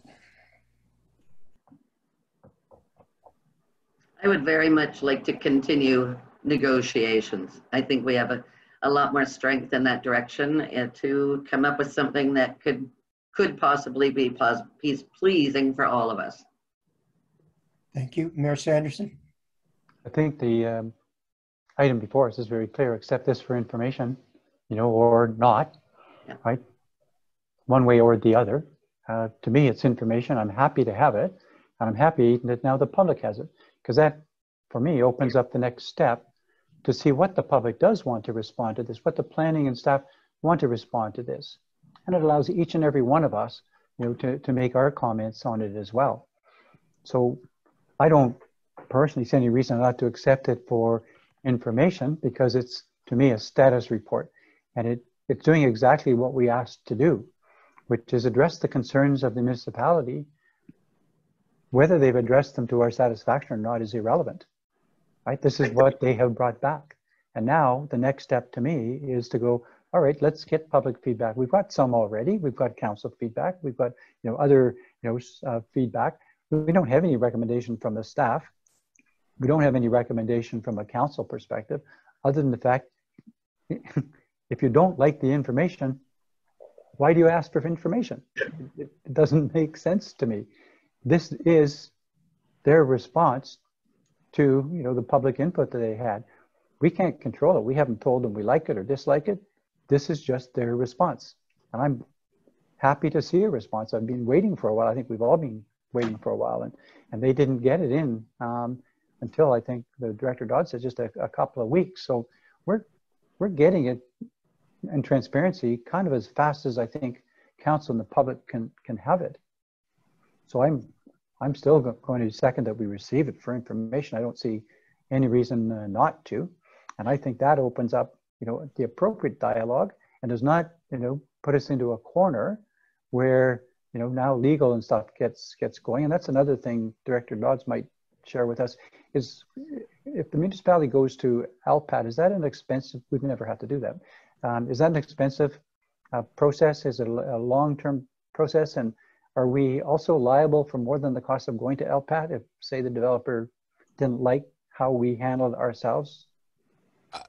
I'll, I'll only speak to one part, and it was very much an off-the-cuff remark about you know what costs would be because I asked the question roughly along the lines of what you did, uh, uh, Mr. Mayor, and they were saying about a hundred thousand dollars. Now, you know, we have not done any, you know, any kind of investigation in detail of what that would be. On the issue of COTS, I'm going to have to refer over to uh, to Theo because she's far more involved, has had more experience on OMB decisions, but I'm not I'm not sure uh, if that's part of it or not, Theo. So the LPAT tends to be, especially with this file and with the background and the history it has, tends to be quite a lengthy process, you know, from the staff and legal and expertise that will be required. It's a beauty context, you know, what the municipality is saying on one, for example, for the environmental impact assessment and what the lawyer, their lawyer and their, uh, the proponent's consultant is going to be and can be quite lengthy but also the you know any person or any entity that uh, appeals to the LPAT can ask for recovery of their costs as well, and it will be to up to LPAT whether they accept that or not. Councilor Mink? So I just wanted to make the point of receiving this for information is one thing, but it's still, we still have the original draft on the table that's not being dealt with. And to Councillor Carr's point, there still isn't the opportunity to negotiate these community spaces, commercial spaces, because now we're moving down a different path. So that that's that's one thing. The other thing is is is going to LPAT is that um, again that is why there is an opportunity to save both the municipality and the developer time and money to come up with a plan that is taking into consideration the community's requests, and, and that's not being done. And I think based on how many people showed up at the public meeting and all the signs around Port Hope, uh, to me, I think that the community is saying go ahead and assume those costs and that time if that's what it takes. I think that's the general consensus, and it is a lot of money, but and it could be avoided by other negotiations, but that it doesn't seem like that's taking place. I would just like to say to Councilor May, it's a portion of the community, not the community, a portion of the community. Yeah, I think that's assumed.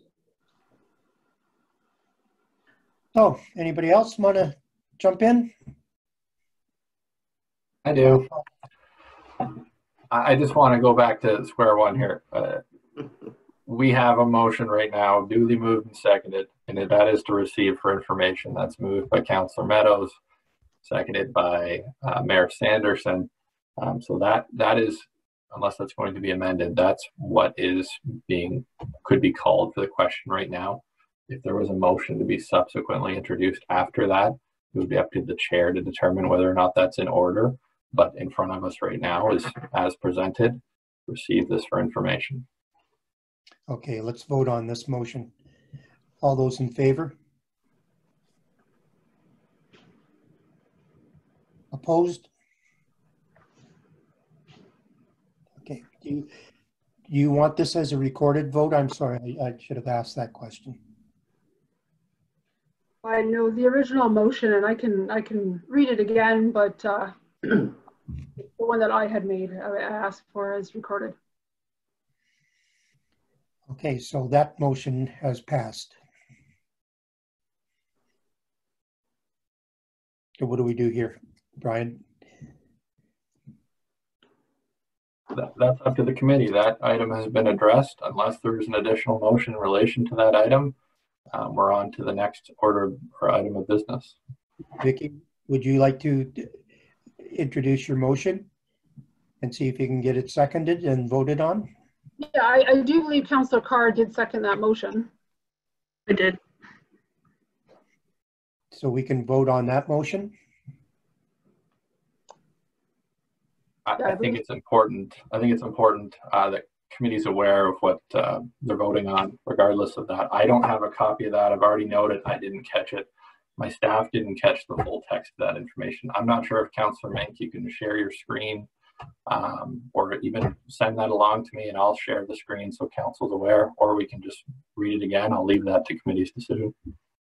I will send it to you. I don't know how to share the screen. Councillor Meadows?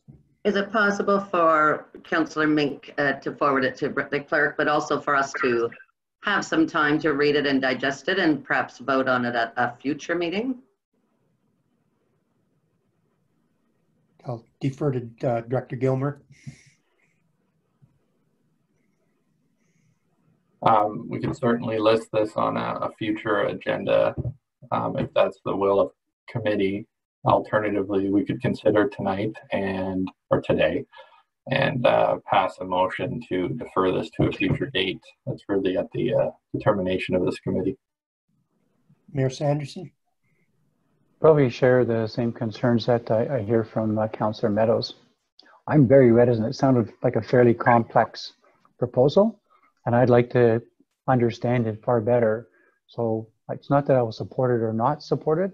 I, I just not sure how it fits in at this point in time, and I would, you know, concur, I think, uh, with, with Councillor Meadows that I, I would need time to, to have a look at a motion like that and to, to understand it. So I'm reticent to see it come forward now, but I'd be very happy to see it come forward, you know, for consideration, you know, as we, we go through the next, uh, next steps. Would that be acceptable to you, Councillor Mink, if we deferred to the next meeting?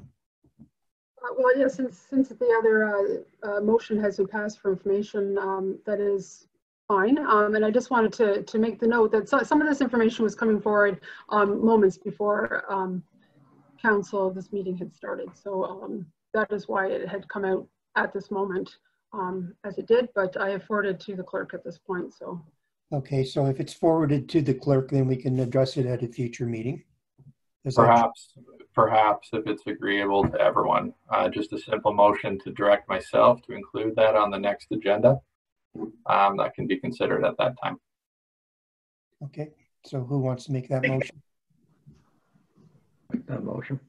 Councillor Pickle, seconded by, seconded by uh, Mayor Sanderson. Sorry, I didn't see your hand. All those in favor? Okay. Thank you. Uh, 3.2, business referred, none. 3.3, new business. Uh, Deputy Mayor Andrews regarding notice of motion outdoor restaurant opportunities.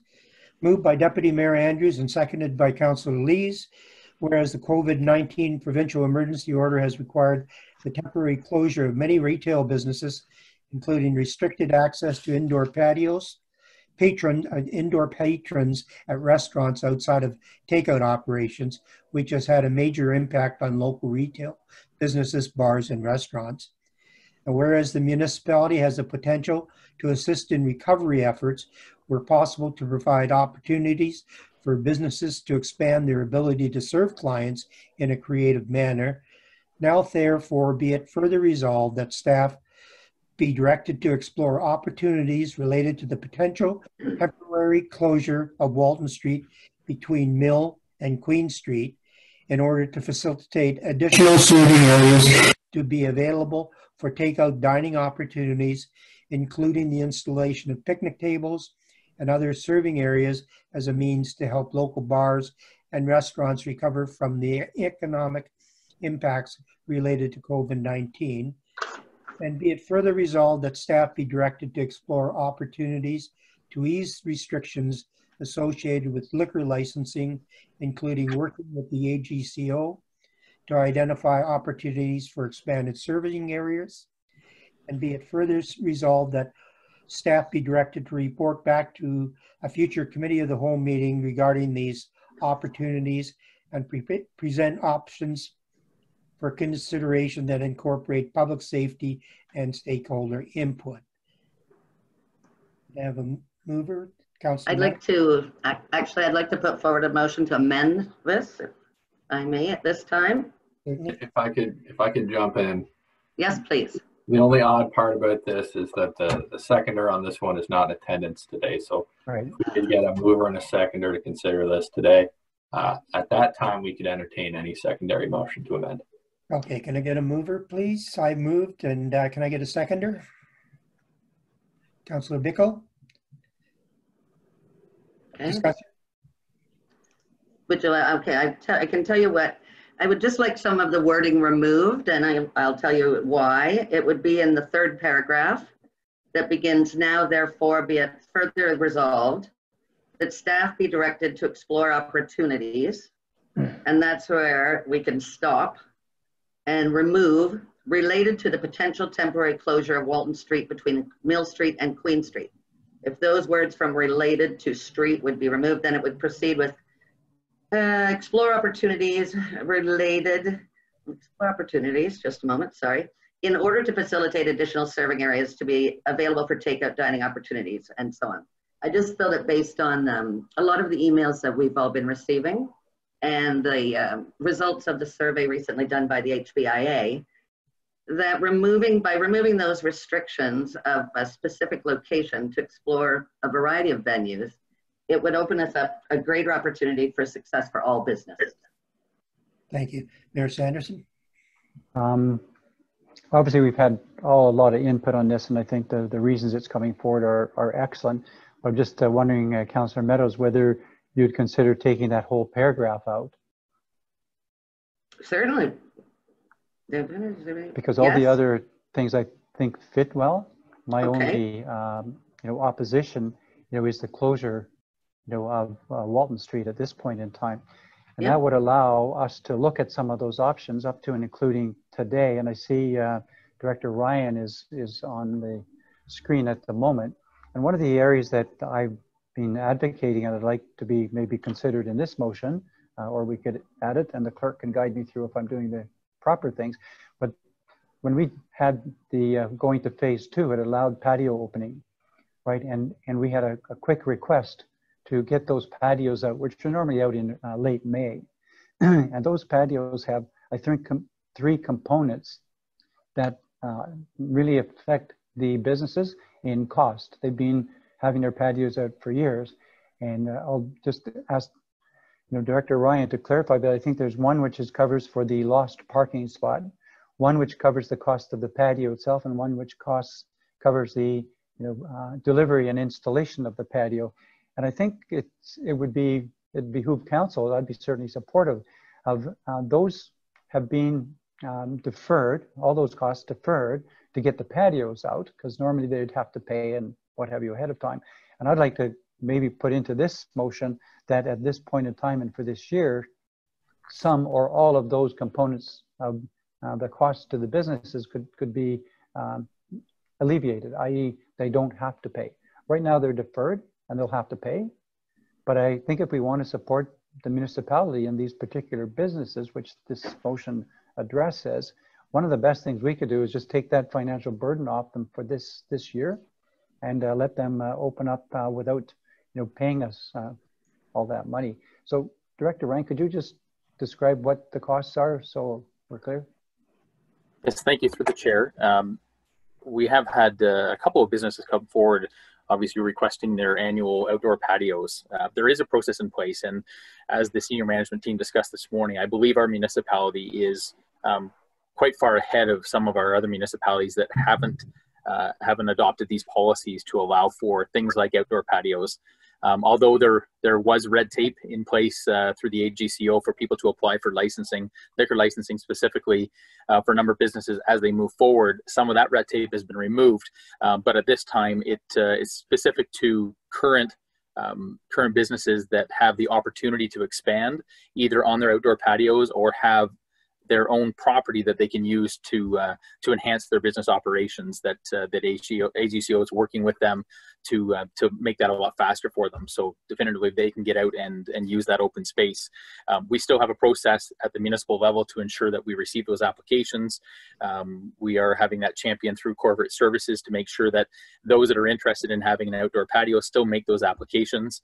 Um, our building services division, as soon as they learned information about the uh, the stage two reopening, immediately contacted those that uh, have been known to have patios in the past. Uh, we have three patios right now. All are under different segments of their their three-year purchase plan, um, and then outside that, there's a there is an operating cost to have that setup, delivery, and the um, the cost of the parking stall absorbed through that that operational cost. So. Um, we had a number of businesses that uh, had reached out to us to see what the turnaround time might be for their own outdoor patio. We have had staff investigate uh, the timelines associated with retaining the equipment that's required for pedestrian and traffic safety, and uh, as well as building and, and, delivery of those locations as well. So we still would have about a three to four week turnaround for those businesses to get um, those those outdoor patios should they choose to go uh, with that new initiative or that new adventure for their business. Um, only two of the three businesses that had outdoor patios in the past have asked for those patios to be delivered to the locations. And uh, through discussions with Director uh, Baxter, um, we did have uh, a quick conversation after speaking with uh, with Mayor Sanderson about the fact that um, we do have the ability within our, our budget to allow for a um, a deferral of those costs uh, to move forward into into the next year for those segments.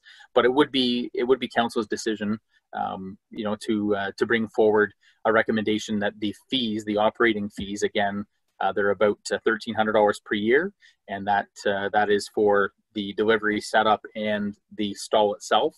Um, those are an annual cost for those to be waived if uh, if that was council decision. So again, at this point, only two of the three businesses that had them um, have uh, have got those installed at their request. Um, we do have two other businesses that have come forward seeking information, but at any point, any member of the business community can contact us at the municipal level and uh, and get that ball rolling so that we can at least figure out what uh, what works best for them in, in their interests. Thank, Thank you. you, Director. So um, if I'm hearing it correctly, there's no urgency to take the fees away right now, that they can sit there deferred until we want to consider them in more detail and see how things are at that time. Does that correct? Uh, up to and including till next year? Uh, and I would turn to Director Baxter just to confirm that. But at this point, uh, what we have said is based on the uh, the recovery to the economic patterns that we're seeing right now, um, to be able to defer that third year into uh, 2021. Uh, we have one business that has completely made all their payments, so they're into that operational cost moving forward. Another business that uh, is yet to make their third payment, so that they would entirely purchase that unit, and another one is kind of up in arms because they're they're midway through the segments and and uh, and no longer operating. So there's there's an availability of of a new unit as well. So um, I would I would either turn to uh, Director Baxter to confirm that, but I think that that would be council's uh, decision to waive the operational costs uh, for this year, which would certainly help um, help those businesses out. Councilor Mink, did you? Yeah, I just wanted to um, ask the question that there's a, we have a number of um, restaurants across the municipality that are on private property in different strip malls that they don't own that property, but they, they rent it.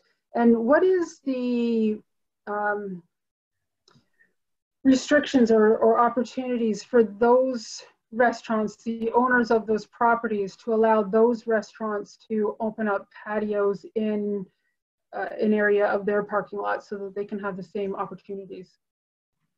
Again, that would that would be an through the chair that would be an application that was put forward to the municipality and then it's investigated both from uh, from a liquor license perspective but as well as building services and fire and emergency services for that that fire safety planning and the total number of people for occupant load uh, and then once those are complete people that have the outdoor patio don't necessarily have a liquor license but they'd have to make still application for that liquor license and that's the red tape that's missing right now to to speed that process up to them but if they're on a private property, property, let's say uh, one of our strip plazas up on Toronto Road, if they were to approach the property and say, "I'm looking at doing this with one of their stalls out front," that would have to be an agreement with the uh, the property owner themselves.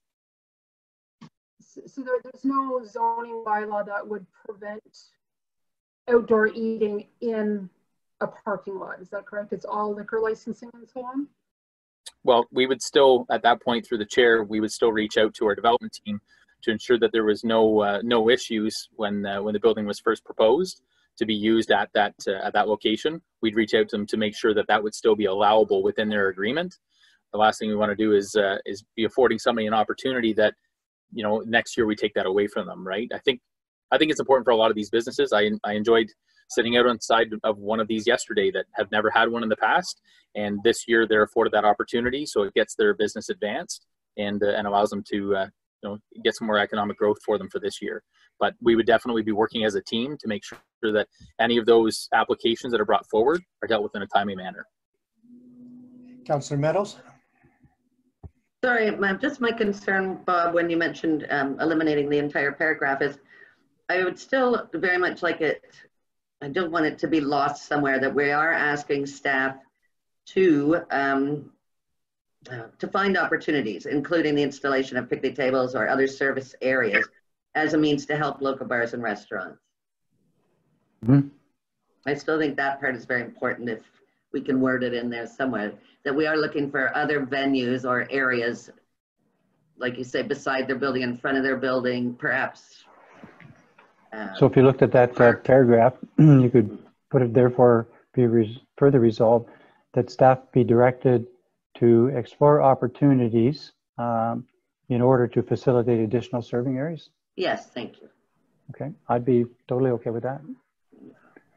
Just to think that, um, I guess the other component is, and I'm not against seeing this happen and council supporting heavily, but you know, the, I don't see that particular closure of that area benefiting, you know, all the businesses up the street. They're going to have to hoof all their foot down and it- I think it'd be quite complicated.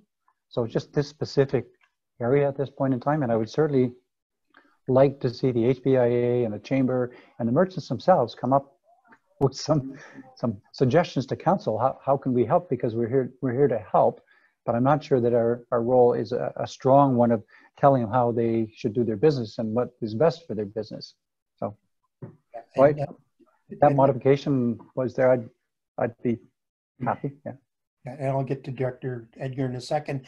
And um, part of this, and I must apologize that my original comment, unintended, was that I said Ontario mill speed. I did not mean to say that uh, way back on May 19th, and that got a whole bunch of balls rolling, and I, I was, conf- you know, it, it was my mistake. So I apologize for that. The, the HBIA uh, have come back to, to us uh, and have offered to redo a survey if, if we if we require it.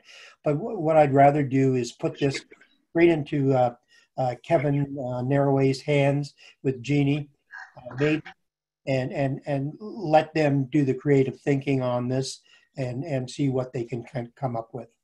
And uh, so this would would open up a whole bunch of channels to them. I'm sorry, uh, Director Edgar.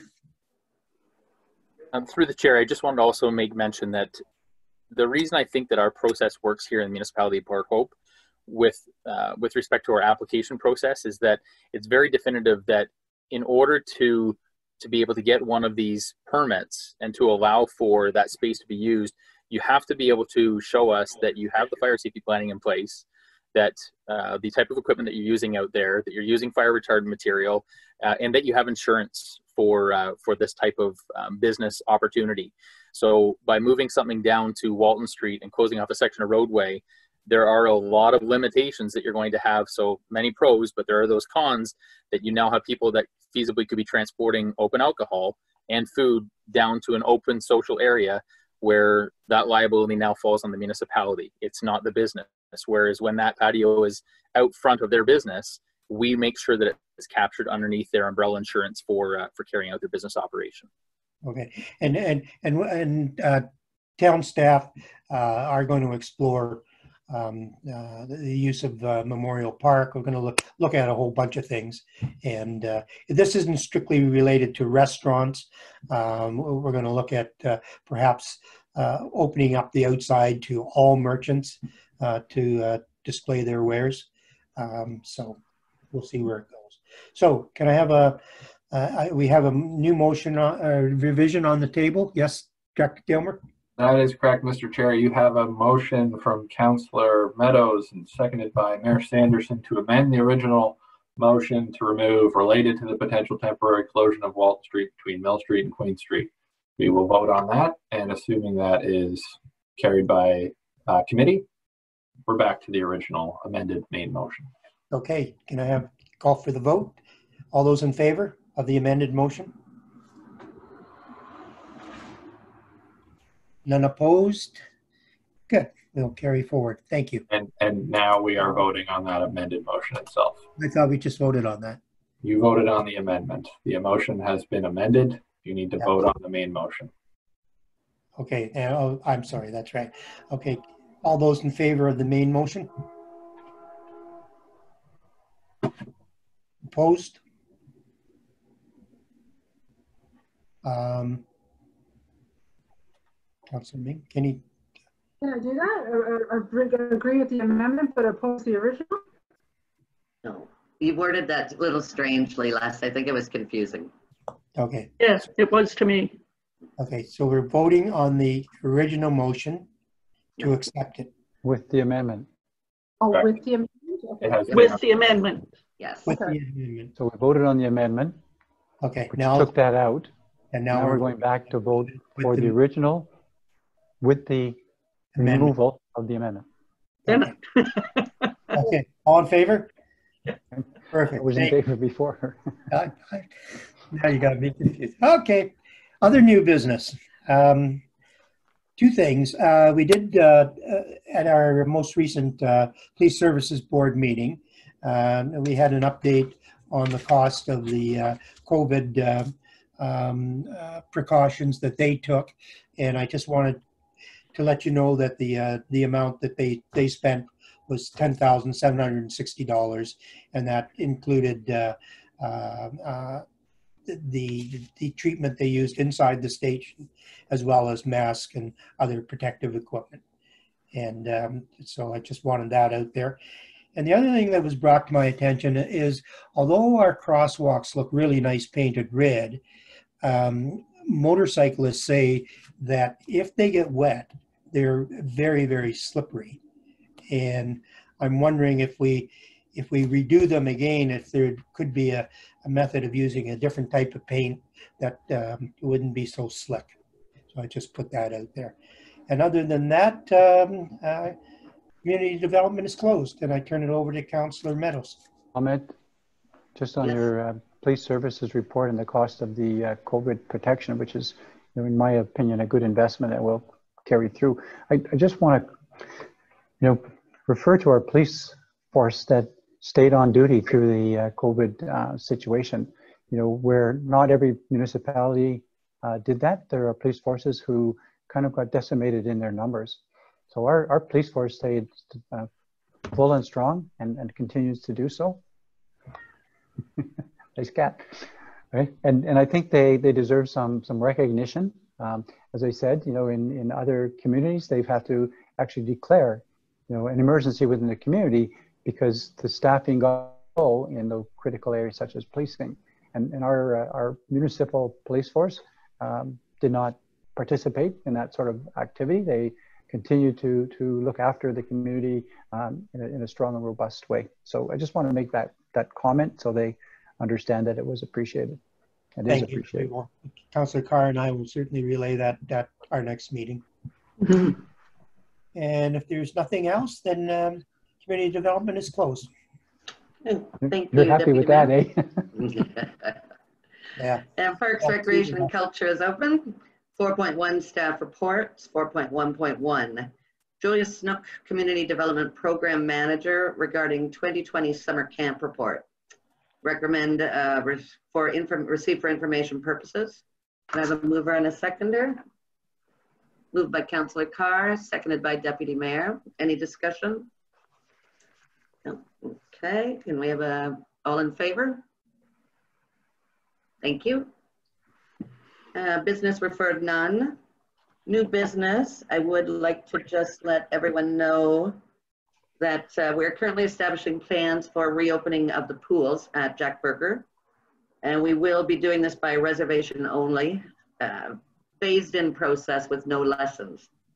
All provincial regulations are being reviewed with plans to open the pool in early July. Also a reminder that we are planning on engaging a virtual Canada Day program lineup. As well, Canadian Heritage has also released their event planned. And these are all available at porthope.ca slash Canada hyphen day. So please check those out. There's some great opportunities for everyone to still celebrate together municipally. Big fun. And lastly, just to continue to remember, June is Recreation and Parks Month. And there are still lots of community activities happening and just check the website and social media for details to stay involved. Thank you. And that is Parks, Recreation, and Culture close for today. I'll pass it over to Works and Engineering and Councillor Mink. Thank you. Um, Works engineering is open. 5.1 staff reports, none. 5.2 business referred, none. 5.3 new business.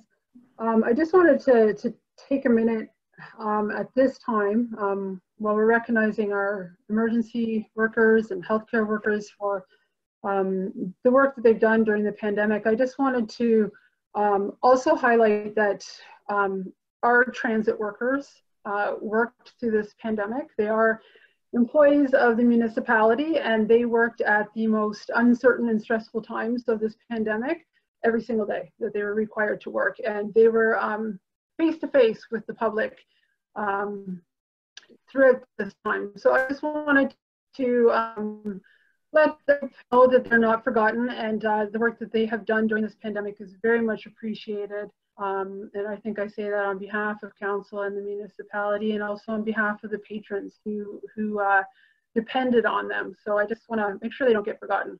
And that's all for works and engineering, unless anybody has any questions or comments. Uh, the mayor. Just want to uh, comment uh, on Pemberton Road. Uh, it's progressing really well, and uh, I think it's gone hasn't slowed up a bit, and it's a very important component of our infrastructure, particularly in the business park area and to the hotel development. So, um, Jeanette, congratulations to you and your team for, for overseeing that and keeping it on schedule. I drove by it today, and it, it's very, very nice. I'm sure the people who are in the uh, business park are uh, very appreciative of that, uh, that access. Thank you. Any other comments or questions for Works and Engineering? Okay, Works and Engineering is closed and I'll pass it over to Councillor Bickle. Okay, uh, Fire Emergency Services is now open. Uh, staff reports, none. Business referred, none. New business, none. Um, I see Chiefs come back. Uh, anything you have to add for this week and would like to uh, bring us up to date on?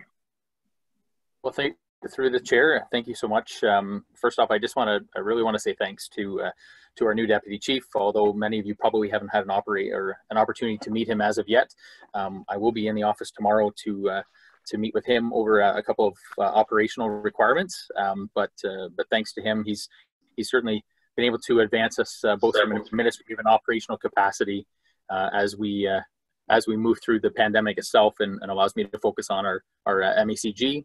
Uh, thank you to council for your support also for the fireworks um, with the, uh, the report that was brought forward. I think that will certainly help um, keep that socially distanced distance between our members should they be required for any of those types of calls.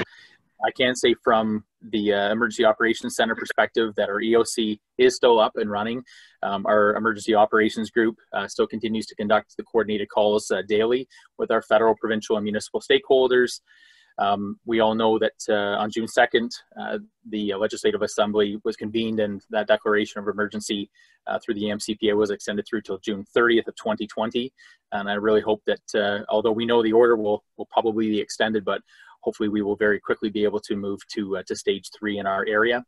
Um, with the uh, the changes that happened last Friday, uh, we were quick to uh, to get out to contact our, our public health officials and uh, and see about our return to work plans to make sure that they were coincide and aligned with uh, with what the province was doing. Um, our our municipality is uh, is still in phase one right now of our return to work plan. However, post Canada Day, we're we're very excited to move into stage two, where we'll begin to start seeing more people back into the workplace and, and not having to work from home as much. Uh, our PPE is in great shape, um, and also we've done a number of reach outs to our, our staff to ensure that their mental health is being looked after and is in check. Um, and the really good news story that I wanted to bring to uh, to all of your attention is that um, last uh, last Friday the province uh, committed to both the police services and fire services in Ontario for that community testing, um, which will allow for either on-site uh, opportunities, but any one of our members can now attend Northumberland Hills Hospital and be immediately tested for uh, for COVID-19 should they wish to uh, to go in there voluntarily and have those tests completed. And uh, it's an in and out, which is which is great for a lot of our our uh, our workers. Um, I just want to end by saying thanks to all staff for their continued dedication to our health and safety measures and ensuring that uh, that we make each next move very slowly and, and methodical and uh, it's it's it's back to the grind right now on on everything else that's on our plate. So um, that's all I have to offer you right now, Councillor Bickle. Okay, thank you very much, Chief. Uh, if nobody has any questions of uh, fire emergency services, uh, I'll call it closed. Thank you. Thank you, uh, everybody, for their reports and all the good uh, dialogue I think that we've had today. Uh, with that, I'm going to open up for question periods. Question from uh, any councillors. Sorry, one question for Les. Just at the end of us speaking there of your portfolio, you said that you were going to leave it with, um, did you say Kevin and Jamie to report back to us? The, pardon, Janine, um, Jeannie Maidens. Ah, okay. Um, all right, we, we'll talk about that. We're not quite sure whether that's, if she's involved in that, but we'll see. I thought you meant Jamie. As long as somebody does it, right? That's right. Jeannie has been working on the uh, AGCO part of it and events. Well, I Okay. think Les, as, as, as your representative on the uh, HBIA, you know, if they could kind of coordinate with the retailers and the other merchants and the chamber, I think that would be a good, uh, good process to, to undertake some creative thoughts and bring them to council. That'd be, that'd be good. And uh, so we'll move on. Uh, Any questions from the uh, media? Director Gilmer, do you see any? Are you able? Uh, I'm looking at our participants. We've got 13 attendees. A number of them look like staff, but uh, I don't see any hands raised. No. Okay, then I'm going to Oh, open it up to Correction, I Okay. just had one, uh, one raised. Uh, looks like Suzanne Stickley. So I will, Daphne, if you go ahead and unmute Suzanne, she can say her name and address and ask her question.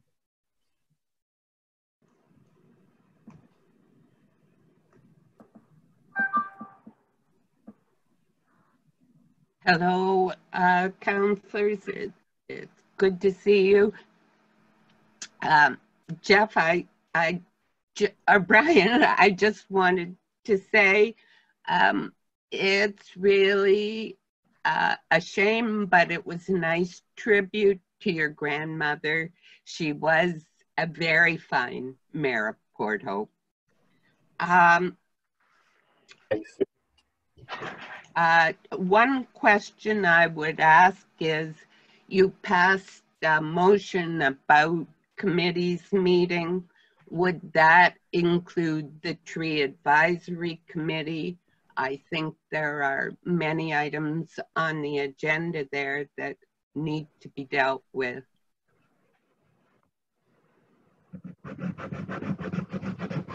That's a question I'm asking.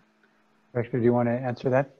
My understanding is that all committees can elect to have their meetings.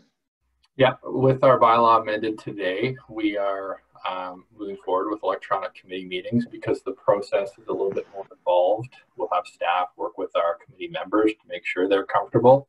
Uh, the only difference is right now we're not back to regular monthly meetings. We are meeting uh, for time sensitive matters and legislated issues. So if there are time sensitive matters, uh, that can be brought forward from the chair of that committee, work with the council rep, and we can schedule a meeting to address um, those time sensitive issues. The only thing we're not doing quite yet is back to a regular monthly schedule. That would be uh, Councillor Mink, I guess, and um, and Mike Goldstein. Thank you. Um, the other question is, of course, um, in regard to the second submission by Penn Mason Homes. I am still unclear as to what is actually being assessed by staff. Is it phase one or is it this new submission? If it is the new submission, do they not have to fill out new applications for uh, official plan amendments and uh, rezoning bylaw amendments? Director Dodds or Theo? Yes, I'm going to quickly defer this, just uh, refer this over to uh, um, Theo, and I just want to see if she's still online. I'm Yep, not sure. she's She on? That's great. Oh, there. Hi, I'm Theo. Yeah, yeah, um, yeah just the uh, the short answer is I think think I think there seems to be this understanding that the that this is a um, there's this original submission and the second submission and that the application is different. The application, the subject lands have not changed. The plan that would go forward has changed and we're addressing the new plan, but we, we had some outstanding questions on the original plan that have relevance to the new submission as well. And so that's part of the reason for the, and these questions were outstanding. So we are focusing on this second submission. The original one, we understand, is not the one that the, at this particular time that the proponent is pursuing. And so that's my catch. Now, in terms of the details about what the changes are as it relates to uh, amendments to the zoning bylaw and official plan, um, those are questions best left for Theo. Thank you, Tom, through the chair. So this is correct. We are dealing now with the new submission, with the second submission. It is a revised modification from the original applications. The subject lines are the same. The woodland now it's in a block 305 that they have identified in the draft plan. And uh, it's correct what Tom says that we had some outstanding co comments. And in their comment matrix, uh, the proponent has provided their answers and also there are two tables there whether this will be addressed during the phase one or the phase two. So what it is different now, it's a phased approach. That's what they are asking. So in my opinion, these are not new applications. Those are revisions to the previous applications. So there is no need to consider that complete or not. All Thank right. You. That's a very clear answer. Um, my second part of that then is um, when uh, staff assesses the provincial significance of the woodlands, what provincial criteria are staff applying?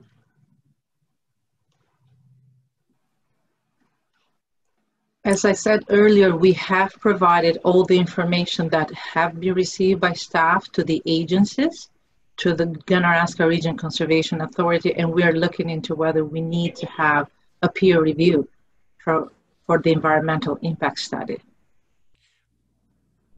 So the answers to your question specifically on the provincial significance and determination whether there's sufficient information to draw those conclusions, we are we we are the expertise that we refer to is the GRCA. In our discussions with the GRCA, they may indicate to us, or they may say, you know, these are other areas that we would encourage you to explore further and to investigate for further part of that discussion is is what's prompting us to look at this uh, peer review to make sure that we've really um, covered all the bases and we've looked at this mm. as in as much detail as we we possibly can. Um, so the, the really the question is two parts. One is there's the criteria for the, the provincially significant lands and there's and, and how they're applied. There's some related to our official plan. There's some related to the policy statement, and then the expertise that we're drawing on is to to get somebody who's well versed in doing this before. Uh, that's over and above what the GRCA may be able to provide. There is some to in many in majority of cases for us, they're the ones that we look to to provide that expert advice. Because of the sensitivity and the concern that's been expressed, we want to make sure that we do the best job we can, and that's why we think a, a peer review is appropriate uh, for this uh, for this work. And if I can add, obviously we're not going to overlook our official plan policies and what the significant woodland are in our official policies. In my report to uh, to council for uh, the public meeting, I have highlighted in the attachment all the relevant policies, being that in provincial level, growth plan, county, and the official plan. Yes, and nowhere has there, in my, to my knowledge, nowhere is there a provincially significant woodland there are provincially significant wetlands, etc., and ANSIs, but there's no classification for a woodland of that sort. So that's it. Thank you. You're welcome. Can I Right. Councillor um, Mink, you want to weigh in on this? Oh, thank you, through the chair. Um, You have mentioned a, a number of references that you're referring to. Is the municipal forest master plan also being referenced? Because I haven't seen that being brought up anywhere at this point. I'm sorry, I didn't catch the question. It's uh, the, the audio is, uh, The, um, I, you listed off a number of policies that will be referenced, um, but we also have a municipal forest master plan, uh, which was adopted by council last year. Is that, um, being taken into consideration? I haven't seen it in, in the, uh, proponents, um, proposal to us and their secondary proposal. Um, and I haven't seen the forest master plan municipal one being brought up anywhere. So is that still, um, being referred to as a relevant document? uh, if I can respond to that, in the response, the proponent has provided uh, response to the comments from the tree advisory committee about the forest master plan. It's in the comment matrix. And indicating that those are guidelines, but it is, they have mentioned one of the comments from the uh, tree advisory committee and what their response is in that regard. Whether that is acceptable or not, that has to be looked upon. Well, I- just, I just wanted to make the point though, that the, the, the forest master plan, to me, isn't a recommendation from the tree advisory committee. It's, a- it's a policy that was adopted by council. So I just want to make sure that they, they, they brought it forward, but it's not their recommendation. So I just wanted to differentiate that this is uh, an actual, the tree, the municipal forest master plan is a relevant document approved by council, not by the tree advisory. I just wanted to make that point. Okay, thank you. I think uh, Director Dodds took note of that as well. So that'll, that'll be addressed. Thanks for bringing that. Is there any other question uh, from the public that um, you can see to occur?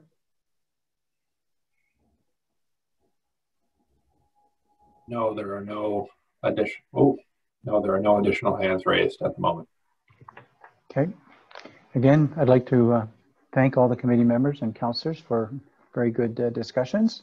Before I close, I'd like to wish everybody um, Happy Canada Day. We can't uh, we can't have our parade and we can't uh, get together and celebrate beyond a certain uh, ability. But I think in our hearts we are very proud to be Canadian and very proud to be uh, part of this municipality. And uh, thank you very much. So go forth, use those patios that, that are out there, support the local business as much as we can. They, they are our neighbors and friends, as I say. So they, they need us now. So with that, everybody have a uh, good rest of the day and happy Canada Day. And we will plan on carrying through with some of these discussions and our next meeting is in July. So thank you very much. The meeting is now adjourned. Thank you. Bye, everyone. Bye now. Yeah, Bye, everybody. Take care. Councillor Car-